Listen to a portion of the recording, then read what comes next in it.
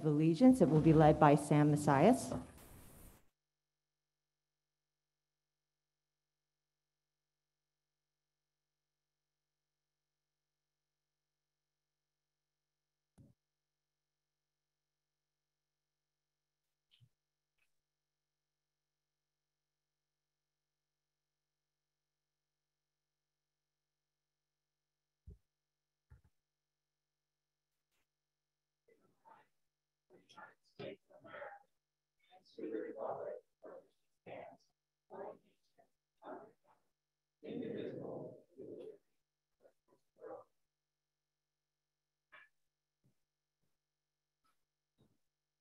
Okay, I will now turn it to Mrs. Sugars to take attendance. Mrs. Arroyo. Mrs. Stratton. Here. Ms. Friedel. Here. Mrs. Matlack. Here. Mr. Avadia. Here. Mrs. Schultz. Here. Ms. Stern. Here. Mrs. Tong. Mrs. Neary. Here. Okay, at this time, I'm going to move for a recess. I appreciate all those who came out in attendance this evening and for wearing the mask as pursuant to the executive order by the governor. And at this time, those in the audience who do not have their mask, we ask that you please put that on. If you cannot wear the mask, you can attend via the Zoom meeting as a notification sent out earlier this week. At such time, if you do not put the mask on, we will take this recess and we will return once upon doing so. Okay, I will declare a recess. Thank you.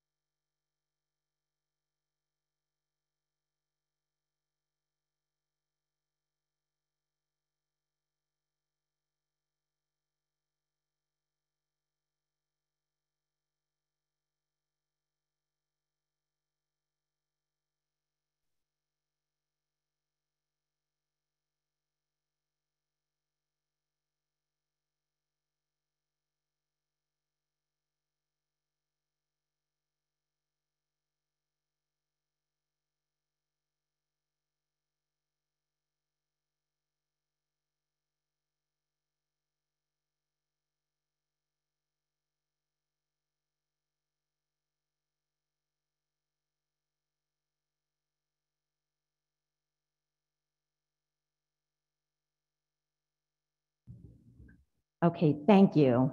Thank you for everyone for maintaining your masks. At this time, I'm just going to have Mrs. Sugars do another quick roll call. Ms. Arroyo? Ms. Mrs. Stratton? Here. Ms. Rydell? Here. Mrs. Matlack? Here. Mr. Avadia? Here. Mrs. Schultz? Here. Ms. Stern? Here. Mrs. Tong? Mrs. Neary? Here.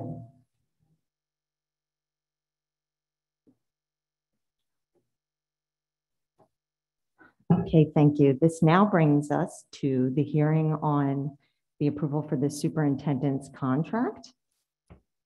The purpose of tonight's public hearing is for the board to receive public comments regarding the rescission of the superintendent's current contract and approval of a new contract effective July 1st, 2021 through June 30th, 2026. We will be alternating between comments from the audience members in person and those in the Zoom platform. Students will be permitted to speak first. This public comment portion is only for comments on the superintendent's contract and is the time this evening, the only time this evening for these comments. Please speak into the microphone and give your name and municipality. You will have a maximum number of three minutes. Do you have that up so I can look at that? Okay, bit. Yeah, thank you. And you can also find a copy of the contract on the website. The press release, I'm sorry, that is listed on our website. And this contract, which will end on June 30th, 2026, is for a five-year period. The new five-year contract would set the salary at 225,000 with a 2.5% increase each year thereafter. There will be no merit pay option with this new contract, which ultimately would be a savings to the district of just over $40,000 for the contract term. Again, if there are comments at this time, it would be for three minutes.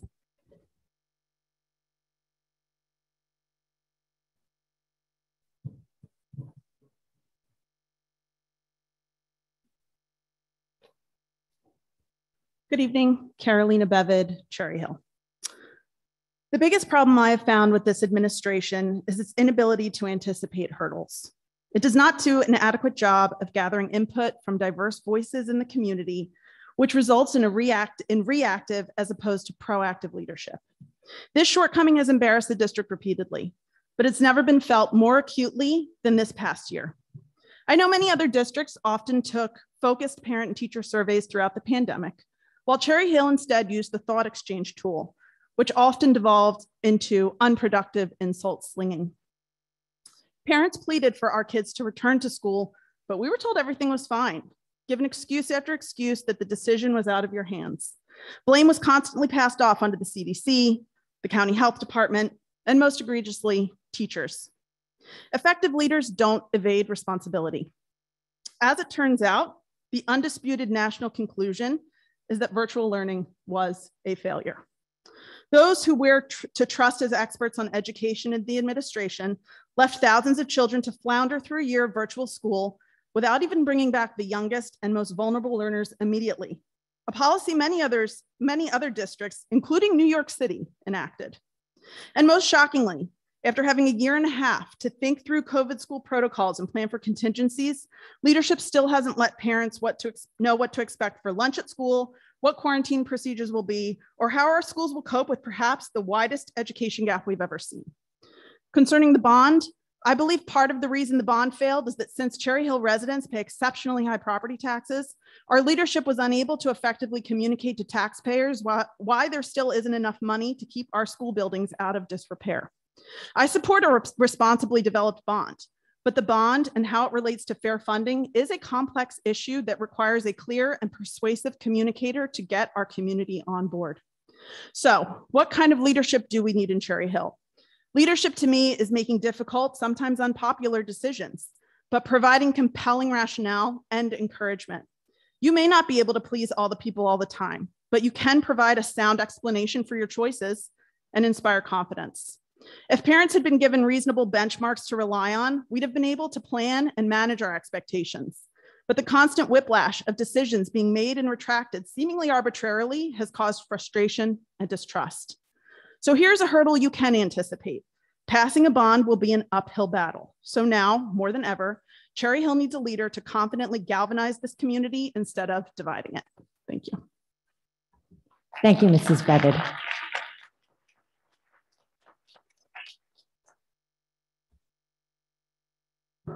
Okay, next we'll go to Peter Sharifane. Please state your full name and municipality.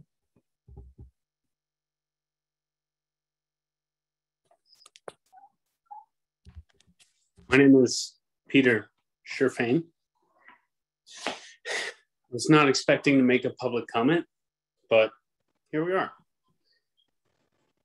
So,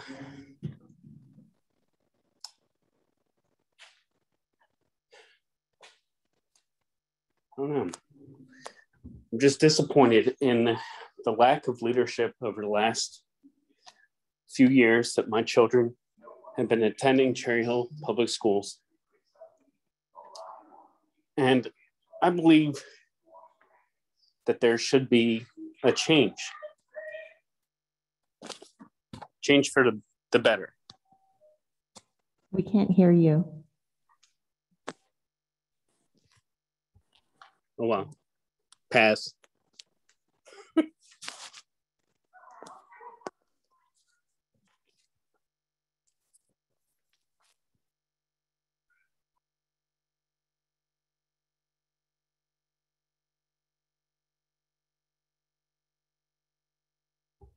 Okay, we'll return to Peter if we can get his line back up. Yes, go ahead. Christina Musso, Cherry Hill. This evening, I'm here to request the board to delay voting on the renewal of Dr. Meloche's contract until a later date. Based on the last 18 months, I feel that renewing his contract tonight for an additional five years would be imprudent. I understand that the board is not allowed to respond to emails directly and acknowledge that the public is not privy to discussions held behind closed doors. But when worries and questions continue to go unaddressed in open forums, we're led to conclude that our efforts to reach out to the administration are pointless. Based on public comments alone, I have been baffled at the lack of detailed information the public has requested or commented on included in the Return to Learn PowerPoint presentation. One lesson learned over the last year is that the single biggest issue and primary driver of con- contention in this community is communication, no matter the topic. There continues to be legitimate concerns as well as misunderstandings on substan- substantive issues because the administration has not communicated their stance or addressed certain concerns effectively. The trajectory of this country was quite different back in June, and when concerns regarding the 2021 22 school year were brought up, they were brushed off. The assumption was made that the country would be in a better position by the fall, yet here we are again at the beginning of a new school year without a clear path forward. I was hoping that after a year and a half of dealing with COVID, a more detailed plan would have been communicated to the parents by now. We are two weeks away from school starting and still do not have concrete details on lunch, quarantine protocols, or what to do if you or your child are sick. These are unprecedented times, and the shortfalls of last year do not rest on a single person's shoulders. However, the tone and direction of any organization comes from the top. Corporations are responsible to the shareholders and customers. If people are unhappy with a company, they take their dollars elsewhere. As a board, we are your customers and shareholders. Most parents cannot simply uproot their families and move out of the district easily. However, they can still influence where their tax dollars are spent. At this point, many feel that the bond referendum is the only lever the community has left to enact change. For those of us who have moved here for the school system, many of us former students, we now feel pressured to leave by the exact thing that attracted us to the township in the first place. Although there may only be a few vocal community members in attendance, I can unequivocally attest to the discontent and frustration that is in our community. I'm concerned that the administration will be unable to garner enough public support for the next bond referendum. Our schools are crumbling and our children deserve a better environment in which to learn, but I fear that the bond will fail as the first did. I would ask you to please take these items into consideration before binding the district to another five-year contract. Thank you for your time. Thank you, Ms. Musso.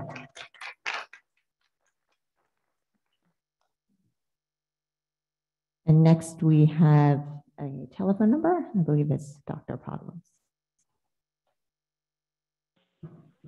Hi, um, Jeff Podowitz, uh, Cherry Hill, New Jersey. I'm quoting from an article um, that was published in New Jersey School Boards Association School Leader, March, April 2020, volume 50, number 5. It's entitled Legally Speaking, colon, Superintendent Excuse me, Salary and Dr. Podowitz? Oh, okay. Is You hear me? in- Is this in reference to the contract?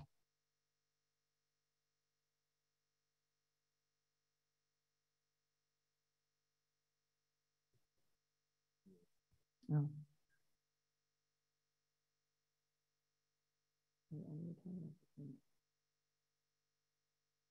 Okay, Dr. Podowitz, can you unmute? I apologize. I'm trying to confirm if this is in reference to the contract.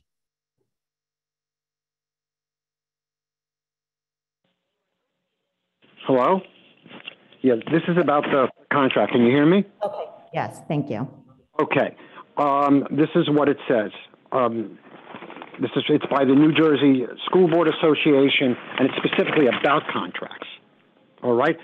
Okay, this is a statement.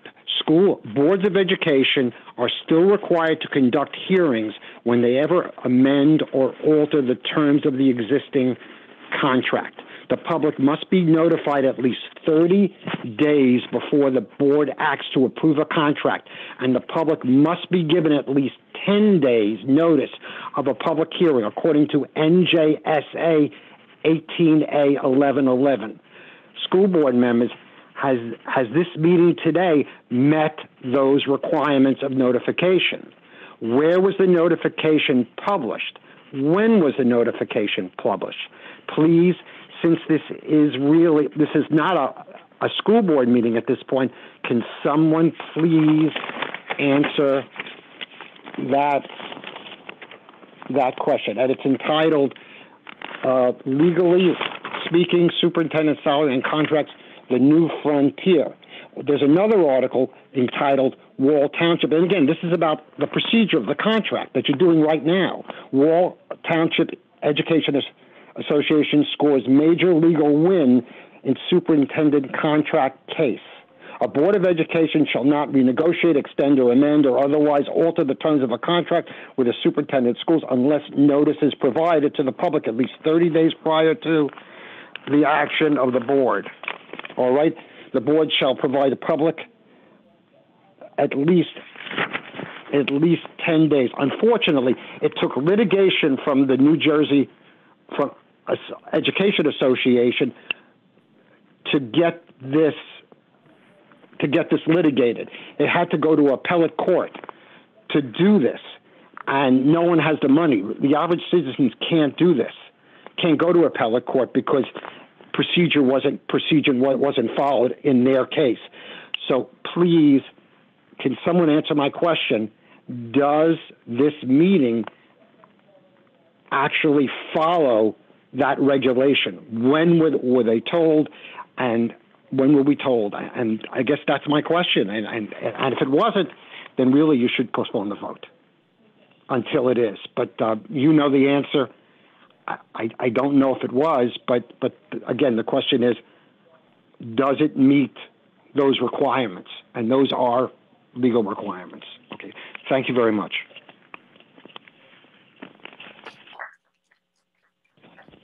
Thank you, Dr. Podowitz. Um, Yes, we did meet those requirements, and if you'd like, we can send the specifics to you in email. Go ahead. Rick Short, 1002 Chelton Parkway in wonderful Cherry Hill, New Jersey. Tonight, I question all the serious things that Dr. Meloche does. I have papers right here from OPRA requests. What do I get back from the district? Mr. Short, it's a false narrative. Mr. Short, it's a, it's a falsehood. How can, how can the delay, let me read you exactly what this says.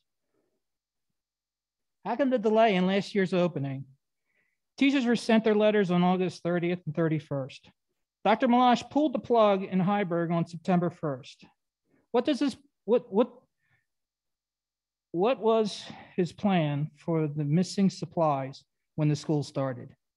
The schools, the school supplies arrived on August 6th, all the school supplies. Dr. Meloche was on Action News, Channel 10 or Action News one morning telling, telling the world that he's ready. I just wonder if Dr. Meloche knew that he didn't have the cleaning supplies to delay the opening. Why wasn't he honest with us? And again, I go back to this serious question of critical race theory in Cherry Hill schools. I present this to the public. Is this false? Is this a false thing that happened on May 11th? Is this fake? It's a piece of paper, it's a slide. In addressing the board tonight, I want you to know that I understand the gravity of this decision. You are called upon to make regarding the renewal of Dr. Meloche's contract. Believe me, as a father enrolled in the school system, I know how important it is. But let me make a point. The superintendent must open and must go must be open and above all times. He must consider all residents for the community and not call them false narratives and false claims. Sadly, we have no alternative but to come to lead the conclusion that the superintendent indeed deliberately misled us on this CTR information. On three different occasions, the school said they're not using any critical race theory, and yet it's very curriculum used in my middle school, coming to use in my middle, incorporates elements of CTR. And it's a funny acronym known as BIPOC, which stands for Black Indig Indigenous People of Color. This clever acronym disguises and disguises indigenous people from other people of color, including Hispanics, Asians, Pacific Islanders, etc. This is an important key note. I ask you to not renew Dr. Meloche's contract. Thank you. Thank you, Mr. Short. Next, we have on the line Kerry, and if you can please state your full name and municipality.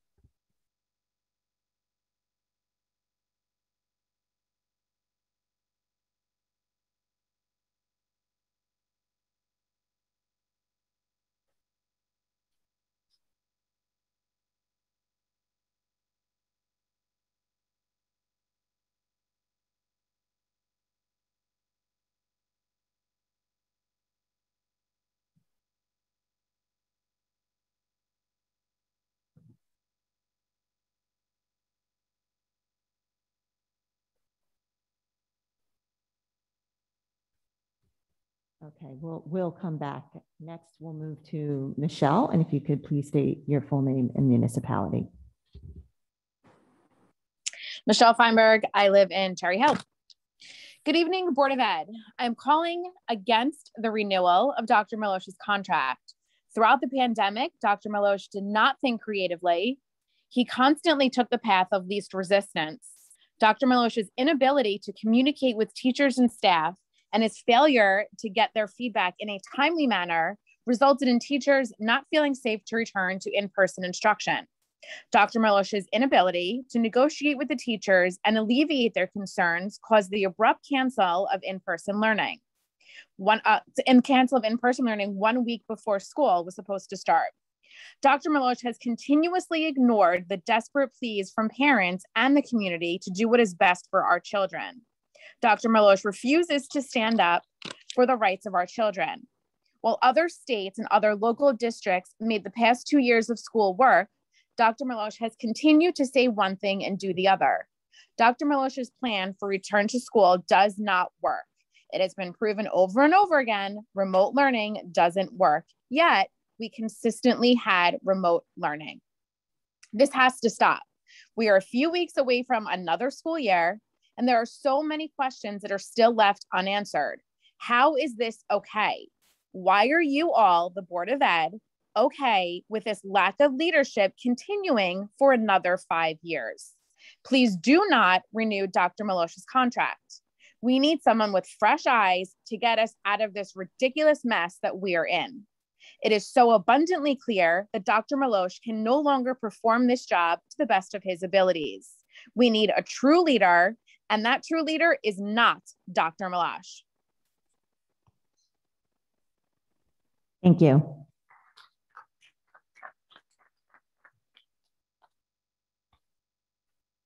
You may go ahead to the podium. Sorry.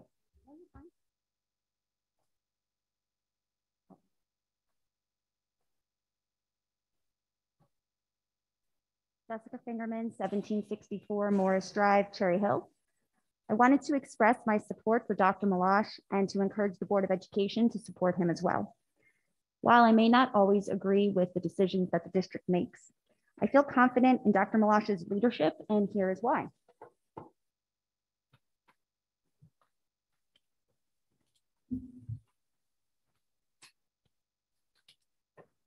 So sorry.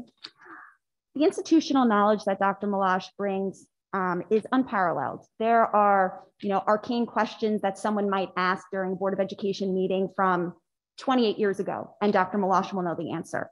People look to him as a leader in our area and a leader in South Jersey, and that's why he was named Superintendent of the Year. Um, I don't think that you are going to find an equal or above candidate. Superintendents are rare um, and quality superintendents like Dr. Meloche are even more rare. Um, I know that people have had uh, criticisms that they've expressed here and on the phone. Um, however, I don't think that they appreciate um, how logistically difficult it would be to find someone of Dr. Meloche's caliber. Um, he is extremely invested in our community. Dr. Meloche, I think if I remember right, has four children um, they have all gone to Cherry Hill schools. His mother was a Cherry Hill school teacher. Um, he's a principal in Cherry Hill and worked his way through up administration. He understands our community in a way that other superintendents that you would need to do a national search to find would not be able to do. And in the intervening time, we would probably need an interim superintendent. And in the midst of a pandemic where things are already very discombobulated, just in our area and nationally, um, this is not a good time to um, rock that boat, in my view. We're also in the midst of a possible bond referendum, um, as well as a possible redistricting. We need a strong and steady hand to guide us through the way. And I think that Dr. Meloche is that person. He's also committed to essential causes that I personally support, and I think a lot of people in our community support it too. For example, anti-racist initiatives, the African American history um, course. I think that is wonderful. Also fair funding. Dr. Meloche shows up at the Juneteenth parade, um, and I think a couple of board members were there as well. Um, Dr. Meloche was there marching with a lot of other people. Right? He is an essential member of our community. Um, I see that I'm running low on time. Be happy to email the rest of my comments later. Thank you so much. Thank you, Ms. Fingerman.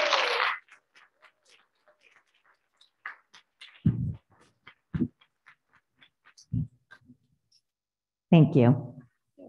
Next, we have Lauren Greenberg on the line. Hi, can you hear me? Yes, we can hear you. Okay, great.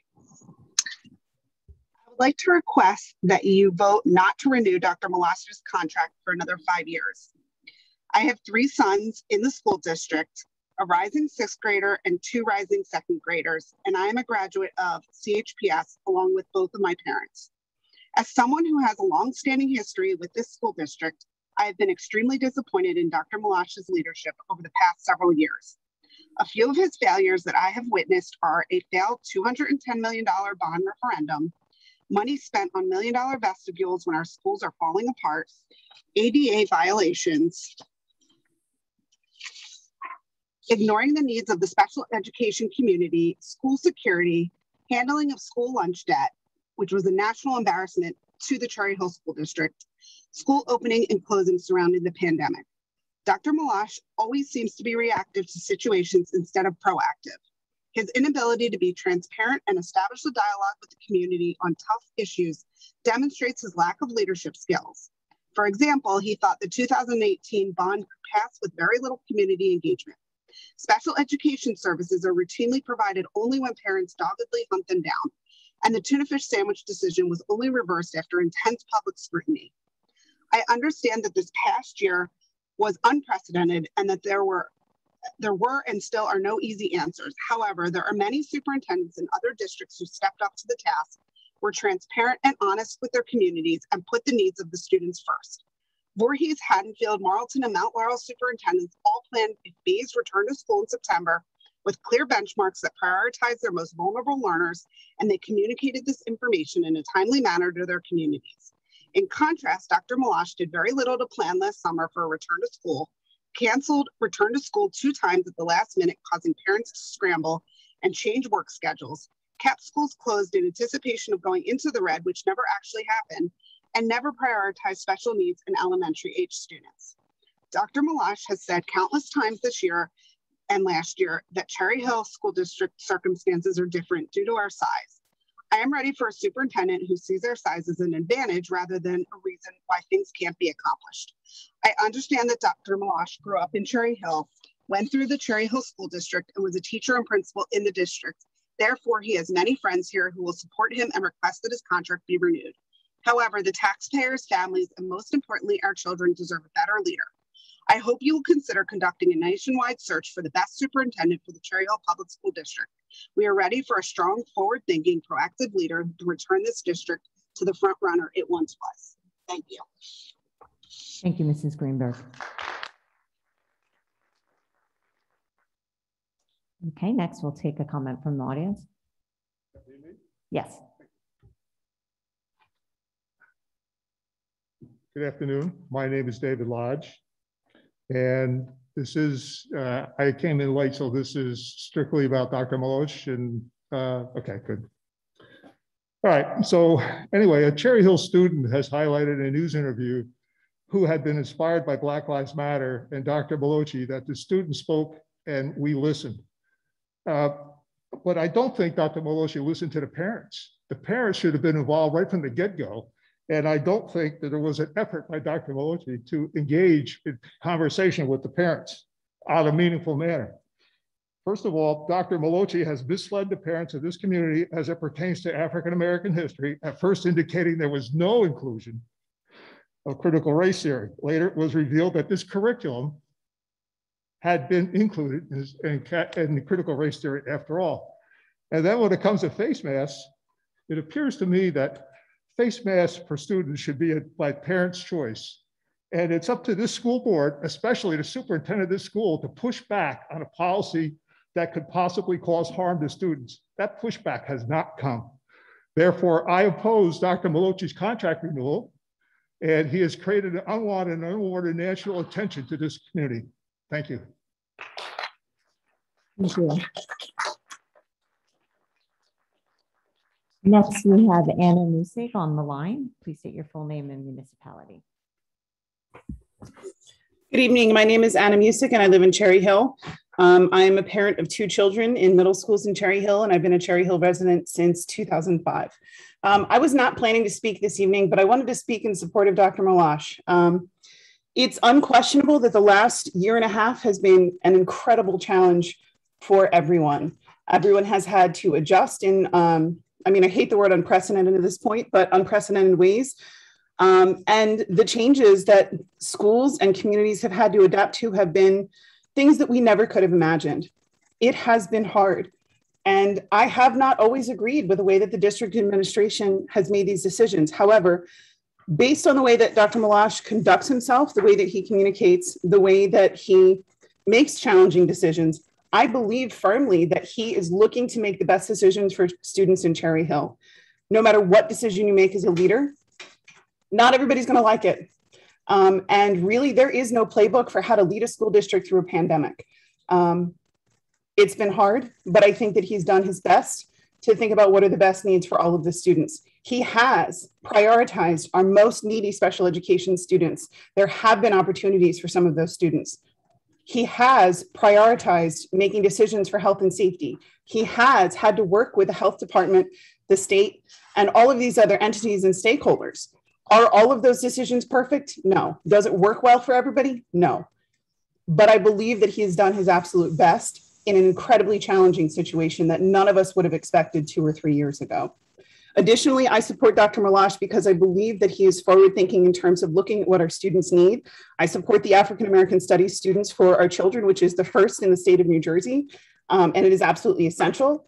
Um, I am baffled that so many members of our community are afraid to learn history and for our children to learn history. And I applaud Dr. Meloche's ability to stand up for something that could be really unpopular and could be a real challenge for him. Um, it, it just, just in closing, I would say no one is perfect, but Dr. Meloche brings a wealth of experience, not just because he's a person from Cherry Hill, but because he's a highly experienced educator. He's incredibly intelligent and he brings so much to the table. It would be an incredible loss to our district if his contract was not renewed. Thank you. Thank you. Okay, next we'll take a comment from the audience. Kimberly Gallagher, 1537 Hillside Drive. I come tonight to ask you to not renew Dr. Meloche's contract. Over his 10 years, he has failed our students, taxpayers, and community. Our district made national news when Dr. Meloche thought shaming our kids with unpaid lunch debts was the best way to tackle the problem.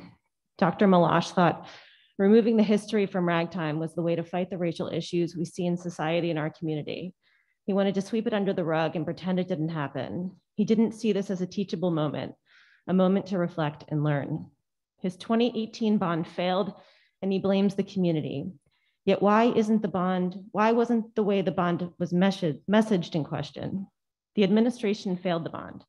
And now you believe that a $360 million bond will pass? The community and taxpayers are paying for the shortcomings of Dr. Meloche. While he was the assistant superintendent and superintendent, he mismanaged the tax dollars and allowed the buildings to fall into disarray. Instead of fighting the state for the funds we are owed, he handed that burden onto the parents. And now that the parents are unable to get the funding, he is shouldering that burden on the community. Finally, in a moment of crisis that COVID was and is, our, our leadership failed. Dr. Meloche lacked the ability to communicate and give his understanding for his decision making. He canceled school with, with short notice multiple times, leaving parents to scramble for childcare and broke the hearts of kids who were excited to finally meet their teachers and see friends. Every decision last year was ad hoc, last minute, and without justification. No lead time was provided, and parents could not plan. Again, this year, there are so many questions the parents have about school. No outline of district policies or communication on expectations. Parents are yet again left in uncertainty that is not being re revealed by adequate leadership. Now to the board members. Many of you ran on change, transparency, and open communication. Do you feel Meloche, Dr. Meloche exhibits those qualities? As a parent and taxpayer, I do not see it. As people who want better for their own children and the children of the community, both current and future, make the decision to do better. Do not, do not keep failing our community by keeping Dr. Meloche in his position. We need a better leader who can navigate the next crisis. I implore you to find better leadership to be the change you ran on. Thank you. Thank you, Mrs. Gallagher. Okay, next on the line, we have Melissa Bush. Good evening. Tomorrow is the six year anniversary of Joe Meloche being appointed as our superintendent, according to his district bio. I am hoping this will be his last. Six years is more than enough time to rise or fall. Unfortunately, he has fallen flat. Some may argue that he gave students a platform to speak their minds and be heard. That's an accomplishment only if you afford all stakeholders the same opportunity. Under his reign, parents and taxpayers not only are ignored, but are met with open disgust. How do you pledge diversity and inclusion, but then only treat a handful of stakeholders as if they matter? As if removing the majority of the community from the conversation wasn't enough, we've had to watch our district be dragged through the mud numerous times during his tenure. From lunch debt shaming to censorship to a failed bond referendum, the only thing we can count on from our superintendent is backpedaling, condescension, platitudes, and the occasional mealy mouth explanation. Honestly, I may have let many of those things slide if we hadn't experienced the hell that we call the 2020 2021 school year. I know it was a pandemic in which everyone was facing unprecedented times. However, in fields from nursing to retail to even education, some leaders found a way to not only rise above the uncertainty, but shine while carrying others with them. These individuals didn't wait and see or keep their fingers crossed. Those leaders in education not only found an equitable way to return students to in-person learning sooner rather than later, they planned, they communicated, they shared information, and let their communities know when they didn't have the answers. These people inspired confidence, put their people at ease, and made people feel that they weren't facing these hurdles alone. Not here. The pandemic laid bare some of the festering problems in the district, including its leadership, which lacks vision, accountability, consistency, flexibility, confidence, and good communication skills. Our district deserves a superintendent who looks at challenges as opportunities. As we face another unusual school year, a future redistricting, and an upcoming bond referendum, we need someone who is decisive, inclusive, confident, forward-thinking, and bold. Dr. Martin Luther King Jr. said, our very survival depends on our ability to stay awake, to adjust to new ideas, to remain vigilant, and to face the challenge of change. It's time to find someone with that mindset. Our current superintendent may be a lifelong resident who has worn many hats during his approximately 18 years at the district, but he has shown us that superintendent is not the role for him. It's time to start over. Thank you. Thank you, Mrs. Bush. Next, we'll go to the audience. Good evening, Jessica Mazer, Cherry Hill. I am speaking tonight in support of renewing Dr. Meloche's contract as Cherry Hill Superintendent. I've learned over the years as the internet grew to take negative reviews with a grain of salt. People who are happy with a product or service rarely comment, but the minority of people who are unhappy will make sure to be heard. With that knowledge as a guide, I want to share positively. I'm sure your inboxes are flooded with angry parents, but we aren't all angry. We aren't all unhappy. We don't all see the district administration as out of touch with the community. We are living in a once in a lifetime pandemic. Nobody could have foreseen or prepared for this. I'm a parent of three elementary age children, and I deeply felt the pain of virtual learning. But the book is being written as we go. I know looking back, we might see where mistakes were made, but that's why hindsight is 2020. It is really easy to say what you would have done when you aren't in the driver's seat. The administration is forced to make decisions that will upset people.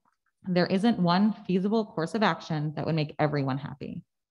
I honestly believe that we are incredibly fortunate to have Dr. Meloche in this seat. We have a leader who is compassionate, accomplished, and connected. We have a leader who grew up in our community, so deeply understands its intricacies. We have a leader that isn't afraid to pivot when the needs of 11,000 plus students, educators, staff, and administration need him to change course. We have a leader who is, has warmth and compassion, and they make him approachable. I hope as a district and community, we can move on from this negative narrative created by those who seek to place blame somewhere, anywhere, and tear our district apart. As a lifelong Cherry Hill resident, I know our community is stronger than that. Thank you. Thank you, Mrs. Mazer. Okay, next we have Jamie Goodwin on the line. Hi, Jamie Goodwin, uh, Cherry Hill.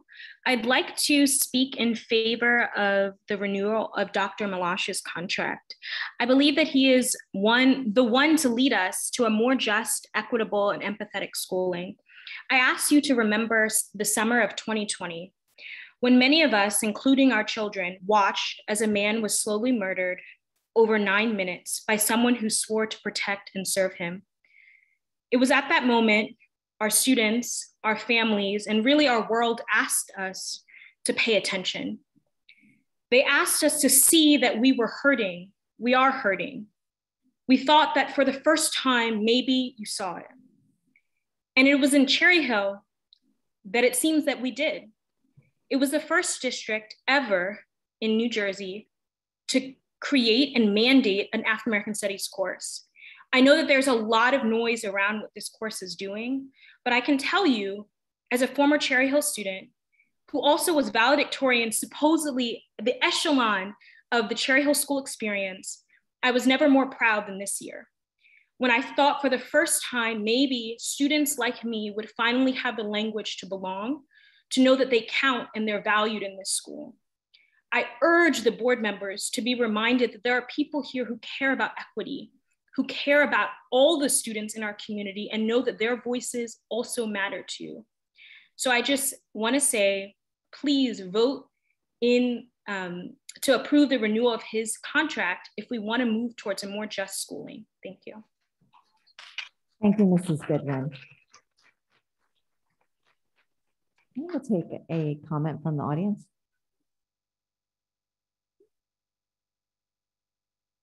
Hello, my name is Serena Goodwin, Cherry Hill, and I want to express um, favor of Dr. Meloche's contract. I just wanted to say, I don't have prepared remarks, that I've been super impressed on this journey that we've been. We've been members of this community for over 20 years.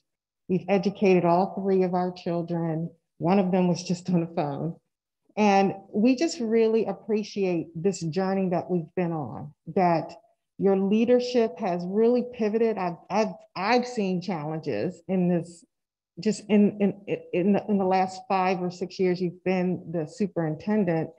But what I'm seeing is just a listening ear. I'm seeing someone who cares about equity, not only just in the community, but also in the administration. It's a very diverse uh, team that you're working with. You're listening to your staff. You're pulling together ideas 2020 was horrible for everyone, especially me. I went to five funerals, and this pandemic has hit certain communities much harder. So when schools closed, yes, we were disappointed. Yes, we wanted our kids to go to school, but we were thankful for the responsive this responsibility that we were able to experience as part of the community. This and still, and even with the online learning, not everybody uh, was negatively impacted. My son actually did better because of the inequities that he faced in the classrooms. So for me, I just think about what I've seen over the years, and I've seen transformation. I've seen listening. I've seen openness. I've seen participation in the community. And I just wanted to, again, reiterate uh, just support for Dr. Meloche. Thank you, Mrs. Goodwin. Okay, next on the line, we have Meredith Levin. Hi, thank you so much, um, board, for holding a Zoom so those who can't be there can chime in. Um, I wanted to just kind of bring a couple of things to people's attention. I recently became a stakeholder in this district as I have grown up here, went through all of my schooling through Cherry Hill and became a teacher myself. And now I have two young kids in the district. And I had a very different view before I became a stakeholder. Um, one of the things I realized more than anything is that Miss Dr. Meloche has been blamed for the decisions needing to be made in terms of S2 funding. We've lost a lot of money over a long period of time and hard decisions had to have been made. And he's bearing the brunt of that. So I ask the board and everyone who is critical of the decisions that have been made to look over the decisions that are starting to be made now that we're getting more money from the state and from federal funding. Decisions that are actually moving us forward. The idea of putting in a special ed director who is in charge of special ed by itself and taking charge of that to um, look to listen to the community for the bond and to figure out ways how we can get everybody on board. Five years is a really long time. And I have to say that to, to renew a contract for five years makes me nervous. And my question to the board is, and I'm not sure if you guys can answer this, does it have to be five years? Can we agree on two years and then reestablish after a major pandemic if this is you know, still working for us. I think over the last couple of years, Dr. Meloche has listened, has watched, and saw that the people were not necessarily happy with decisions made. And when he could control it, he has given control to the people he has picked, um, his assistant superintendents and such. It is hard to run a district of 19 schools. Um, I don't really believe there's many people out there who can do it. And a lot of people have mentioned other districts around here who have gotten new superintendents over the course of the last year or two. And if you look actually deeply into what's going on into those districts, it is not working out amazingly well. So um, it is definitely risky to make a big change like a superintendent. Um, and I would I would wonder if we could renew a contract for two years versus five. Um, and that's that, that's my time. Thank you so much. Thank you, Mrs. Levin. Next uh, member of the audience. Hi, good evening. I'm Sunny Reed. I'm from Cherry Hill, New Jersey. Um, I'm support, speaking in support of Dr. Meloche's renewal um, based on his support of um, the African American Studies curriculum. However, I, I think it's a fantastic start to what I a very unpopular term, but decolonizing our curriculum. Um, I myself am a second year I'm a second year doctoral student in childhood studies at Rutgers Camden, and my focus is on racial identity and racial mirroring and um, in children, um, particularly children of color. Um, I think that this is an opportunity to expand this curriculum in years forward with Dr. Meloche to include other equally important um, races so that children um, in our community who are of all different races and backgrounds have an opportunity to see themselves mirrored in the classroom in order to gain the support and education. Um, from, from our educators and from our role models and leaders. Um, I think that this is something that I would love to be involved with and have a conversation with you about. Um, and there locally are a lot of um, opportunities for conferences and things regarding this particular topic.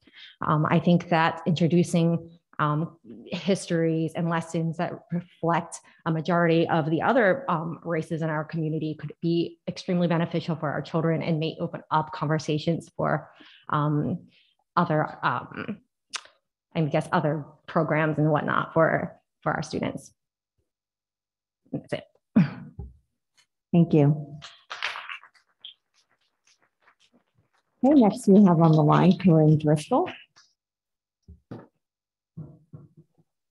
Hi, Corinne Driscoll, um, speaking uh, from Cherry Hill, New Jersey, as the mother of Palmer Linaz, a rising sixth grader at Beck. Um, I just wanted to quickly express my support for Dr. Meloche and the renewal of his contract. Um, he's been weathering the effects of the pandemic for the past 18 months, and despite the many hurdles and ever-changing decisions based on science and recommendation from the county, he's always maintained the same commitment to our students and to the um, community and to the um, oh, the Cherry Hill School District community.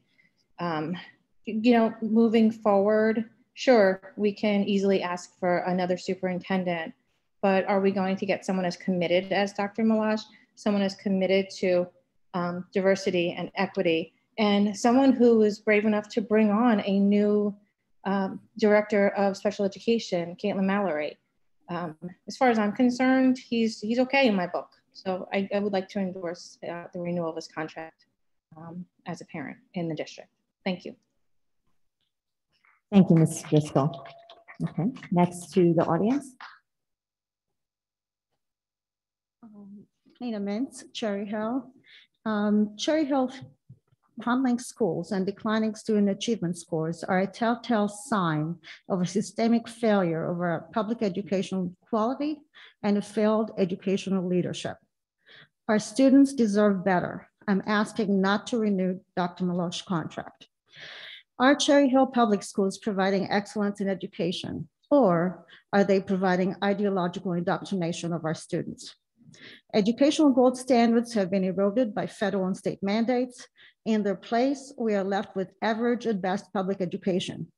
To distract our attention from educational failures, schools devote more and more personnel, instruction time, and funds for subjects that have little educational value, including critical race theory.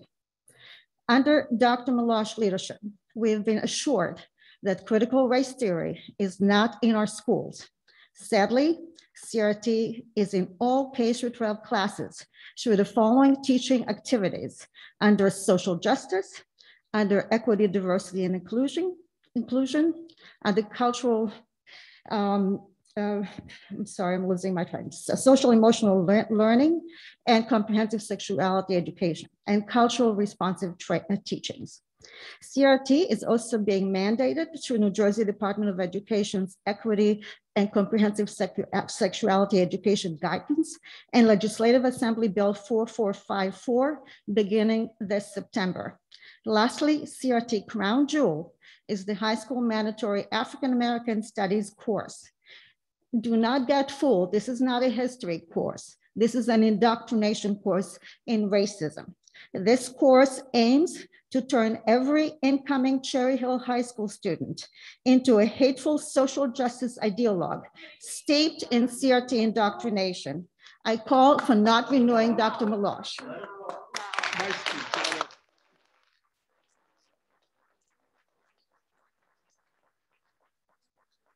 Okay, next we have on the line Elizabeth. Please state your full name and municipality.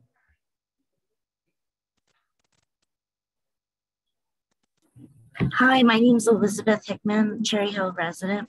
I just wanted to comment in support of renewing Dr. Meloche's contract. I had a uh, kindergartner, so it was the weirdest first day ever. And it just felt like it would never end. And I don't even um, like everything that was done, but I know that, like, as a leader, it's really hard to plan and to execute everything perfectly. But overall, I think that the superintendent did a really good job. I also, uh, I'm glad that he's the kind of leader to uh, take, to listen to the African American and students of colors feeling, saying that they were feeling hurt in this environment and to push for an African American course, which is the first in the state. So I just wanted to to speak of my support for Dr. Meloche's contract renewal. Thank you. Next, we'll go to the audience. Hi, Andrew Barron, Cherry Hill, New Jersey.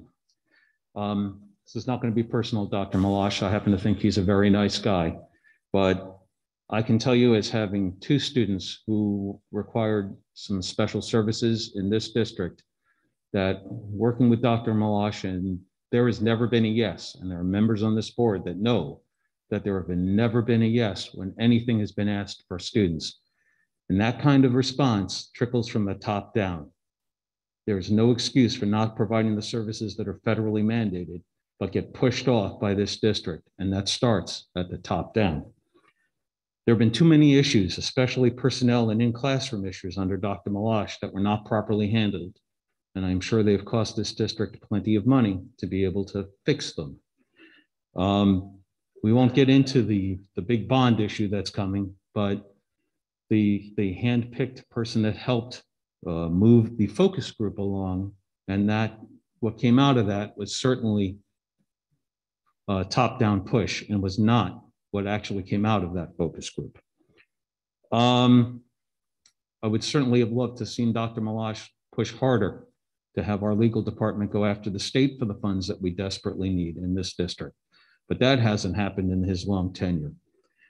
Um, this is certainly not the time with everything going on to put controversial programs into place. And uh, I am specifically saying CRT, unless you're going to put in place programs that encompass all races, ethnicities, religions, everything. You cannot be that singularly focused. It is, it's not right, and it shouldn't have been pushed through, especially in this type of time period.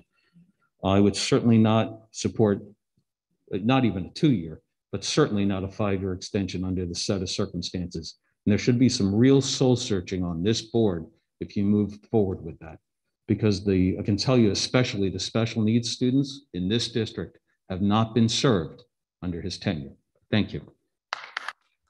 Thank you, Mr. Barron.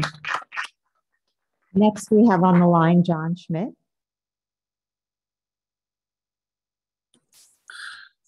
Hi, thank you. I wasn't planning to speak tonight, but was uh, after hearing everybody was moved to do so. I urge the board not to renew or minimum delay the vote uh, for Dr. Meloche's contract. My family came to Cherry Hill initially came nine years ago for the school district. Uh, nine years later, we'll be leaving for the same reason, most significantly due to lack of confidence in the district headed by Dr. Meloche. Uh, Cherry Hill and its children need and deserve a better leader.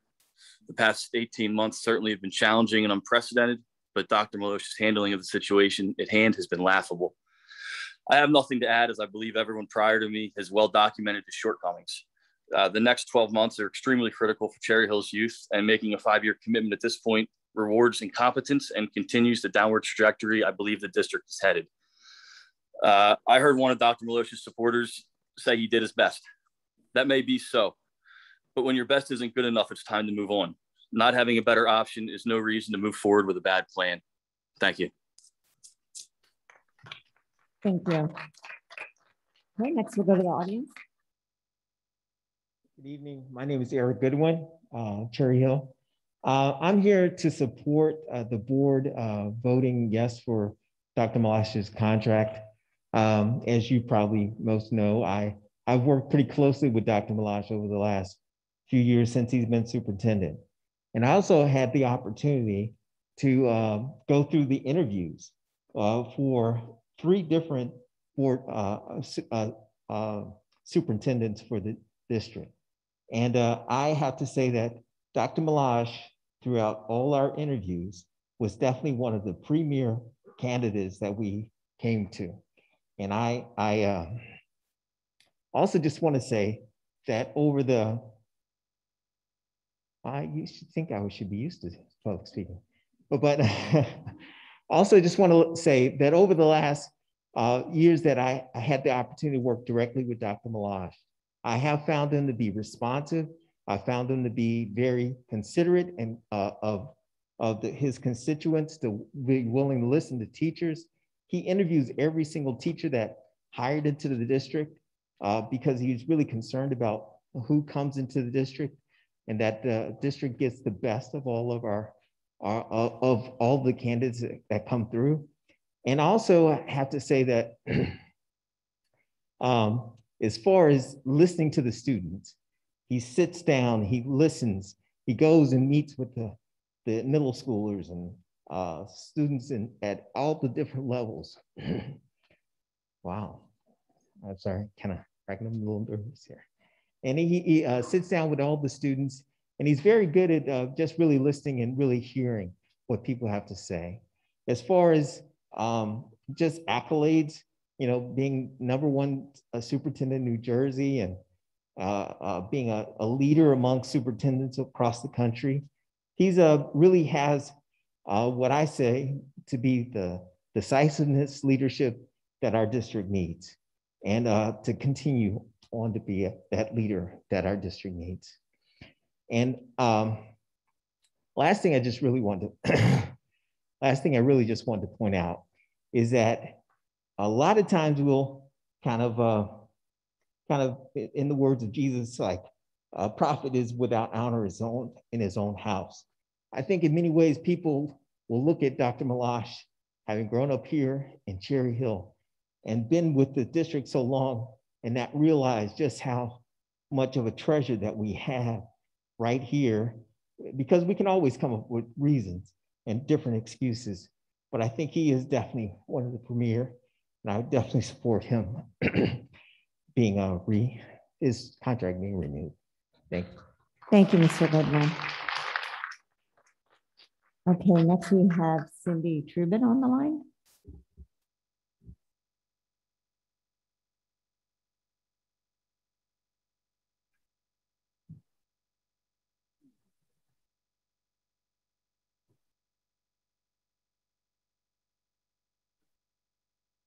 Cindy, you need to Okay, unmute. can you There hear me? Yes. I'm sorry. Oh, yes. Okay. Um, I I've been a resident for or been involved with the schools for 35 years, and I have to say that um, this leadership, uh, even last leadership, was not the reason why we have seen funding not be adequate to keep the schools up. This has been going on for 30, if not 35 years. And um, I am in favor of supporting Dr. Meloche. I have to tell you, I went through a superintendent search uh, and it is a difficult uprooting process. And Dr. Meloche has kept us steady, uh, especially the last couple years, putting the children's health first is what he is hired to do, as well as the board is there to keep the children's interest first. This has been a difficult decision. Nobody likes it, but it's better than losing children to a disease that was unknown and without control. Um, I, I also believe that uh, the stability through this is, is all important. Um, we do need to, to have that the size of the district makes a difference. Organization, uh, funding, um, you know, all of that is involved. Finding someone capable of handling that would be very, very difficult and put us behind. So I thank the board for all of their work and I thank Dr. Meloche for his work. Thank you. Thank you, Mrs. Truben. Okay, next we'll go to the audience. Deborah Samuels, Cherry Hill. Cherry Hill West class of 1977. I've been around a long time. And I would just like to stand here tonight to the board members and ask that you, without a doubt, vote to renew the contract for Mr. Meloche. Joe has been a great inspiration to our students, especially my son, and I am one of eight. And you probably don't know who the eight are, but the eight are eight families who had Black sons, and we got them through Cherry Hill Education System.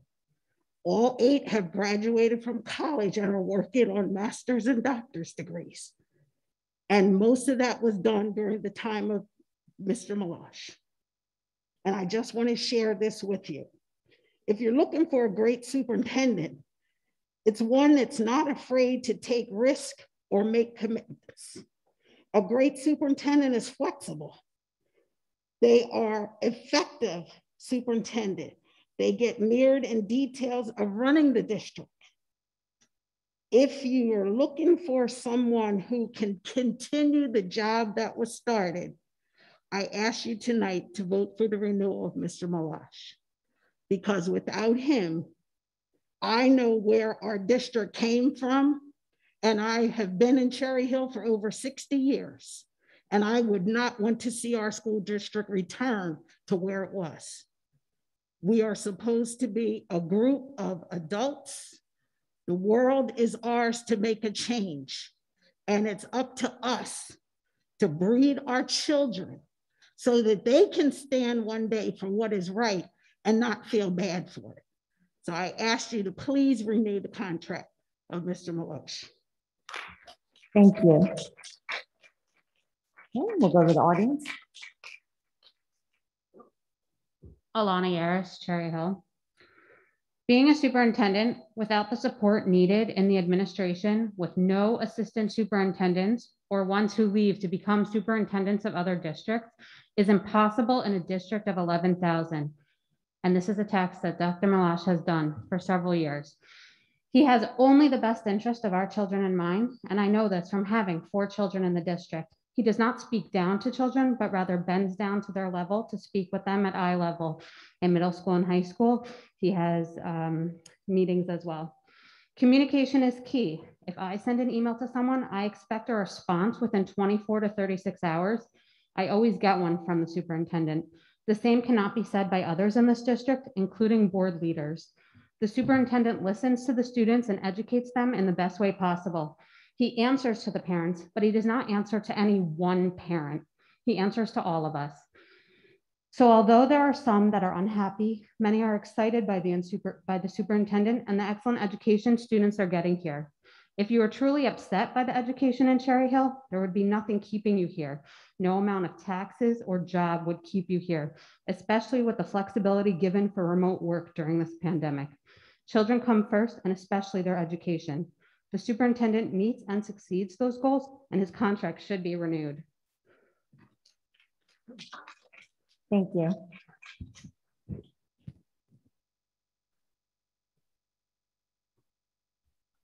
Okay, we'll go to the audience. Hi, John Papica, Cherry Hill. I just wanted to speak out against renewal of the contract. Uh, I do believe in being directed to the point, so I'm not going to echo everything that was said by those before me, but I do want to call out two things that I feel are important. First is in reference to the bond. Uh, I have a two and a four year old, and whatever the result of the bond may be, that will not be paid off with an opportunity for another bond before they are actually out of school. So any decision made tonight will roll directly into that bond decision and will have to be lived with till everyone in this room had kids are out of our district. And secondly, uh, everyone on the board just about ran for change. And this is probably the uh, one of the biggest times of recent history that we can get that change in the district to uh, right the ship, so to speak. Thank you. Thank you. Okay, next we have on the line Steffi Graf.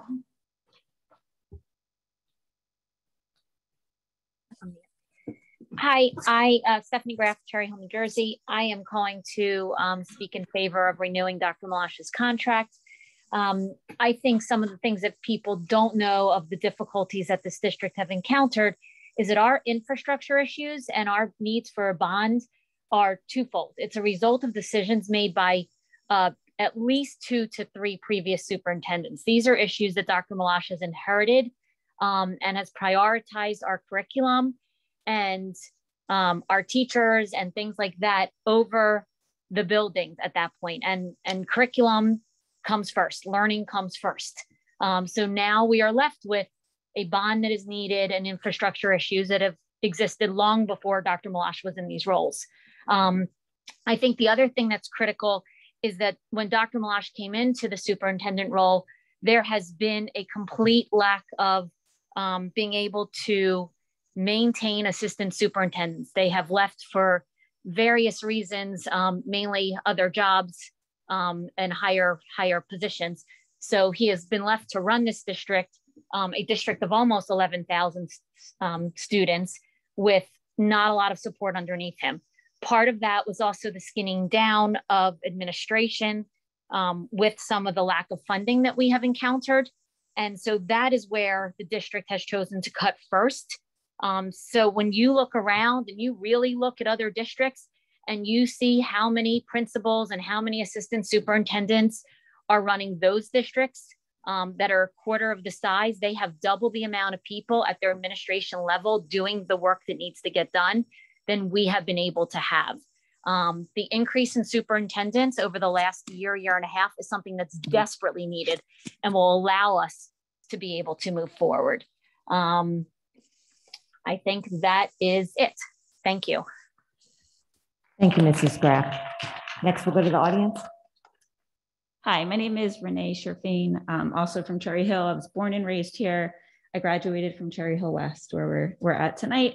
Um, I just two months ago birthed my third child into this district and look forward to seeing all three of my daughters grow here as well. So uh, my oldest daughter is going into second grade here and um, I didn't plan on speaking tonight. Actually didn't even plan on coming tonight, but I, from hearing what everyone's saying, I'd like to put my two cents in as well. Last year, I promise this is re relevant. Last year in February, I took a job as a manager of South Jersey's most busy intensive care unit um, at one of our neighboring hospitals. One month later, we got our first COVID patient. Around the same time, school shut down and everybody had to scramble to make decisions. The hardest part of my year last year was trying to figure out how to manage online school, childcare, paying for extra childcare because my daughter wasn't in school. Um, and I, I, can honestly say that that was harder than having to make a lot of the last minute and crazy decisions that we had to to support not only one of our own community members in our hospital, but all of South Jersey pushing into North Jersey.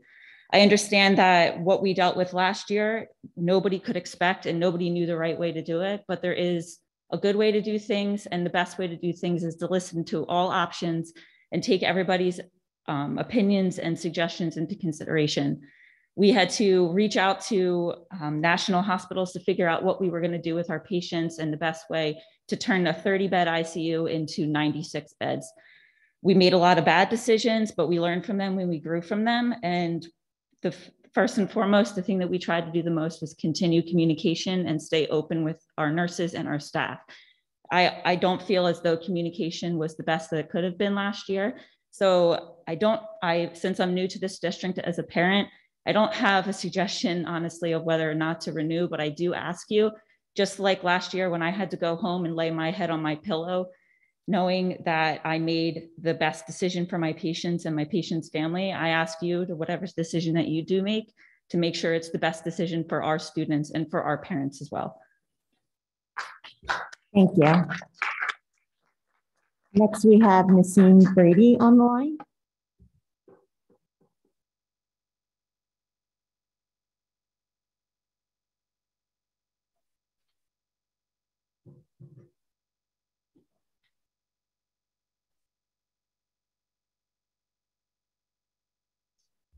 If you could unmute your line, Nassim. Hi, can you hear me now? Yes, thank you. Okay. Nassim Brady, um, Cherry Hill resident, product of Cherry Hill Public School System. I'm, I'm calling in to voice my support for Dr. Meloche. Um, it's been a very difficult year for everybody, and I don't think um, changing of leadership is what we need right now. I think we need a steady hand. And I personally have met with Dr. Meloche. Um, I've met with Miss Mallory, and I can tell you that they have the best interests of our children at heart.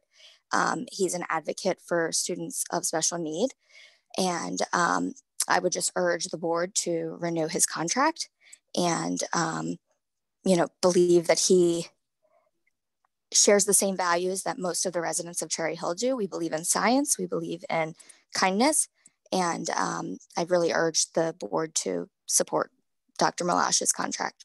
Thank you. Thank you. Okay, next we'll go to the audience. Hi, Danny Elmore, 25 Birchwood Park Drive, South Cherry Hill, New Jersey.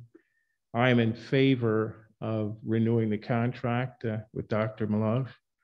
Um, I've known Dr. Meloche since he's come here. He's been an individual who um, is willing to meet uh, with whatever group would like to speak to him on the issues uh, that are ongoing. Um, I've had several meetings with him uh, in, in regard to issues concerning uh, our children, African American children at school who felt uncomfortable about students who were who were placing their hands on other students' hair, students who felt uncomfortable in the classrooms uh, because they were not being taught uh, African American studies. Uh, over the years, there have been so many flashpoints that I really cannot express uh, what's going on. Perhaps people don't know what our students go through on a day-to-day basis. Uh, students who are uh, different from them. You know, I look at this board right now and I, I respect you. I know that Dr. Meloche has picked uh, his staff carefully. Uh, it's a, a, very diverse staff, but I, but you can assure that that staff uh, uh, gets national recognition for their work in the specific areas that they give you, just like you do, Dr. Meloche. There's a reason that you're number one because you are willing to meet with people to discuss whatever issues there are, whether it's a bond referendum, uh, whether uh, uh, it is uh, going back to school, meeting with teachers' unions. I, I, I, heard someone say he doesn't meet with teachers, but certainly going back to school was one of those things that had to go through teachers unions. You've always been willing to sit down and, and express what's best for your students, uh, how they can excel, and I appreciate that. I was uh, extremely um, uh, um, concerned about some of the questions about the African American Studies course uh, because for 30 years I have been trying to get the a course, a mandatory course here, along with uh, other individuals from the community, because it's essential that, that students know that they come from a rich background, that they have, uh, that they share in common uh, with other uh, African Americans, the rich, rich uh, uh, contributions that African Americans have given to the society. We are, are usually our history books start with slavery and end with uh, uh, some type of uh, civil right, rights infractions. They're never seen as uh, full citizens. I thank you for doing this. Uh, I feel like uh, some people are just like the people that stand at the door and did allow blacks in after the civil, uh, after uh, the. Thank you, Mr. Elmore. I appreciate it, but I, I just want to say that I, I do appreciate it. I think this course is necessary. And I thank you for all the work that you've done. Thank you, Mr. Ullman. Next on the line, we have a number that begins with 215.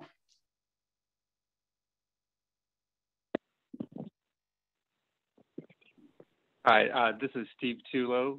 Uh, I just, 1537 Hillside Drive. I just wanted to echo, uh, I won't take a lot of time, but I just want to echo the sentiments of all the previous callers who were uh, not in favor of renewing Dr. Meloche's contract. And I'll just leave it at that. Uh, again, everybody prior to me has expressed uh, very well all the different reasons why. Thank you.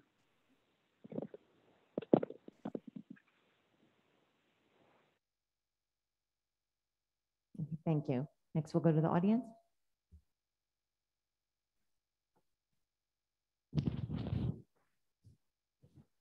Good evening.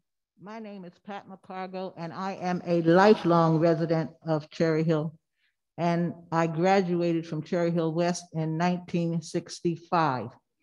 So, and as a matter of fact, Dr. Meloche graduated with one of my daughters who came through the system, who was a special ed student. And so I want to tell you that I believe, I firmly believe that this board has a duty and an obligation to its all of its citizens to support Dr. Meloche by renewing his contract. I've heard so many things about Dr. Meloche. He doesn't do this, he doesn't do that. Well, I can tell you for the past 30 years in this district, I've been coming to board meetings and talking to various superintendents about how our kids felt in a class um, in, a, in a district that was majority Caucasian. Uh, and someone mentioned about hair. Well, I can tell you that when my daughter came through here, she had silky hair. And people would ask her, Well, what are you? She said, What are you talking about? Why does it matter? Well, you have silky hair. Well, why do you have silky hair? And she said, Because I do. And she was in a class. I had another daughter who was in a classroom who, uh, when they were doing Huck Finn, and she sat in the classroom by herself, one student, by one African American student who consistently had to hear the word and over and over again. Well, as a community, we worked through that. We worked through that and changed how Huck Finn was being taught. Dr. Meloche is a leader. He sits down and he does listen. And for people to say that he he's not open or he's not giving information to the community, the community had the opportunity to come and, and talk with the road forward. That was an initiative where community members and teachers came out to talk about how we could help the district and Dr. Meloche through this once in a lifetime, I hope, pandemic. And I'm really disheartened. I have to tell you, I'm really disheartened about what I've heard tonight about this African American Studies program because that wasn't done overnight. There was lots of conversations going on in there, and they keep using the buzzword critical race theory. Well, you know that's that's a way to say no, we don't want it. And I'm disheartened to hear such racist comments coming out of people. I, I could hard could, could hardly hold back. But I want you to know I wholeheartedly support Dr. Meloche and my four daughters who have children, one of my daughters has a, a, one daughter left. She graduates in another year. She's going back in as a junior and she works in probation, but they all support Dr. Meloche. My family members and a group of people that we know in my neighborhood stand firmly behind Dr. Meloche, and I would ask that you do what's best for this district and renew his contract. Thank you, Ms. McCarville. Next, we have on the line Jessica Cohen.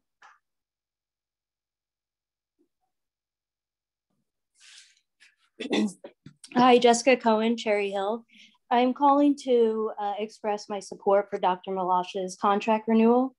I grew up in Cherry Hill from Johnson Elementary through Cherry Hill East, and I have a child now in the district. The past year plus has not only been extremely difficult, it's been utterly unprecedented. And I think sometimes we forget that now that we've been in this so long, um, we, we kind of forget that this really came out of nowhere um, and that tough decisions consistently needed to be made frequently with little information or data. Tough, impactful decisions involving the health and safety of students, staff, the community, and a multitude of other factors. As bystanders in the community, it is exponentially easier to sit back now with all of the information that we have today and criticize decisions that have been made in unideal situations and pretend we might have known better what to do. As bystanders, it is also exponentially easier to myopically focus on single issues and criticize how they're handled as if there isn't a balance of responsibilities and obligations that must be considered. That's a fundamentally oversimplistic and naive view of what it requires to be a superintendent. There is an infinite number of factors and complexities that we never see on the community side. Dr. Meloche has consistently acted in the best interest of the students, staff, and community uh, throughout this incredibly difficult time. And I thank him for his service and apologize on, on behalf of those who support him for some of the things that have been said tonight. And I would implore the board to renew his contract. Thank you. Thank you. Okay, next we'll go to the audience. Good evening, Nick Bevid, Cherry Hill. Uh, I'll be short. Uh, I'd like to request that the vote uh, to renew Dr. Meloche's contract be postponed until the entirety of the board is present to vote. Thank you. Thank you, Mr. Bevan. Next, we have Sarah Jocelyn on the line.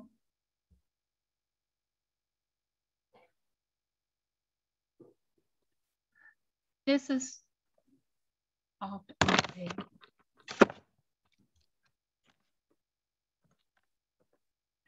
This is Sarah Jocelyn. Um, can you hear me? Yes, we can hear you. Okay. Um, Sarah Jocelyn from Cherry Hill, and I, I would like to speak in support of Dr. Mo, uh, Mr. Meloche. Um, I'm a longtime resident of Cherry Hill. Both of my children graduated uh, from Cherry Hill West, and they view Cherry Hill education as a model for their own children. We look highly at the fact that Cherry Hill has uh, uh, schools of character here, that we do a, that we have a diversity of students in our community, that we teach children that they should be getting along with their with all the classmates that they have. Now that is an expectation in the real world. And everything that we do to move children forward with that kind of thinking helps to make a better society. Um, I, I feel that the importance of social emotional learning is extremely uh, valid. We want to have acceptance. We want to have children have a good self image of themselves and, and schools of character and teaching about all backgrounds is extremely important. I have had the opportunity to uh, work with um, uh, the superintendent over time. I was one of the original people that was involved with coffee with the superintendent. So it's over a period of years. And not, well, I have not always had the same opinion. We've always had productive discussions. He has listened. He has supported the, the importance of the best for the district, the district students, parents, and staff. And I strongly urge you to um, renew the contract with the superintendent. Thank you. Thank you. Next, we'll go to the audience. Good evening. Thank you, Dr. Meloche, for your leadership. Thank you. I want to thank you personally I grew up here in Cherry Hill. I graduated here from Cherry Hill West in 94. My family's been here since this was Delaware Township. And we have deep roots here in, the, in this town. I want to thank you for your leadership and your standard of excellence that the board continues to promote for the education of all of the students here. Um, and I'm going to keep mine short as much as I can, but just personally thanking you. My son, a, a young Black man who we were in a former district for a little bit. And then I decided to bring him back home to the district that I know that would help him. The other district was willing to allow him to slip through the cracks. His education wasn't a priority, but I knew that here in Cherry Hill, that education is a priority for all children. So I just want to thank you again. And I'm asking the board, yes, please reinstate Dr. Meloche. He's doing a very good job. Thank you. Next, we'll go to the audience. Uh, good evening. My name is Ed Farmer, uh, resident, recent resident of Cherry Hill. My kids were actually already grown and out of school before I moved here, so I don't really have a view of Dr. Meloche, positive or negative. I have basically what I've heard tonight, which has been a lot of good and a lot of not so good. Um, my issue tonight is that we've gone through 18 months of rapidly fluctuating situation and changes.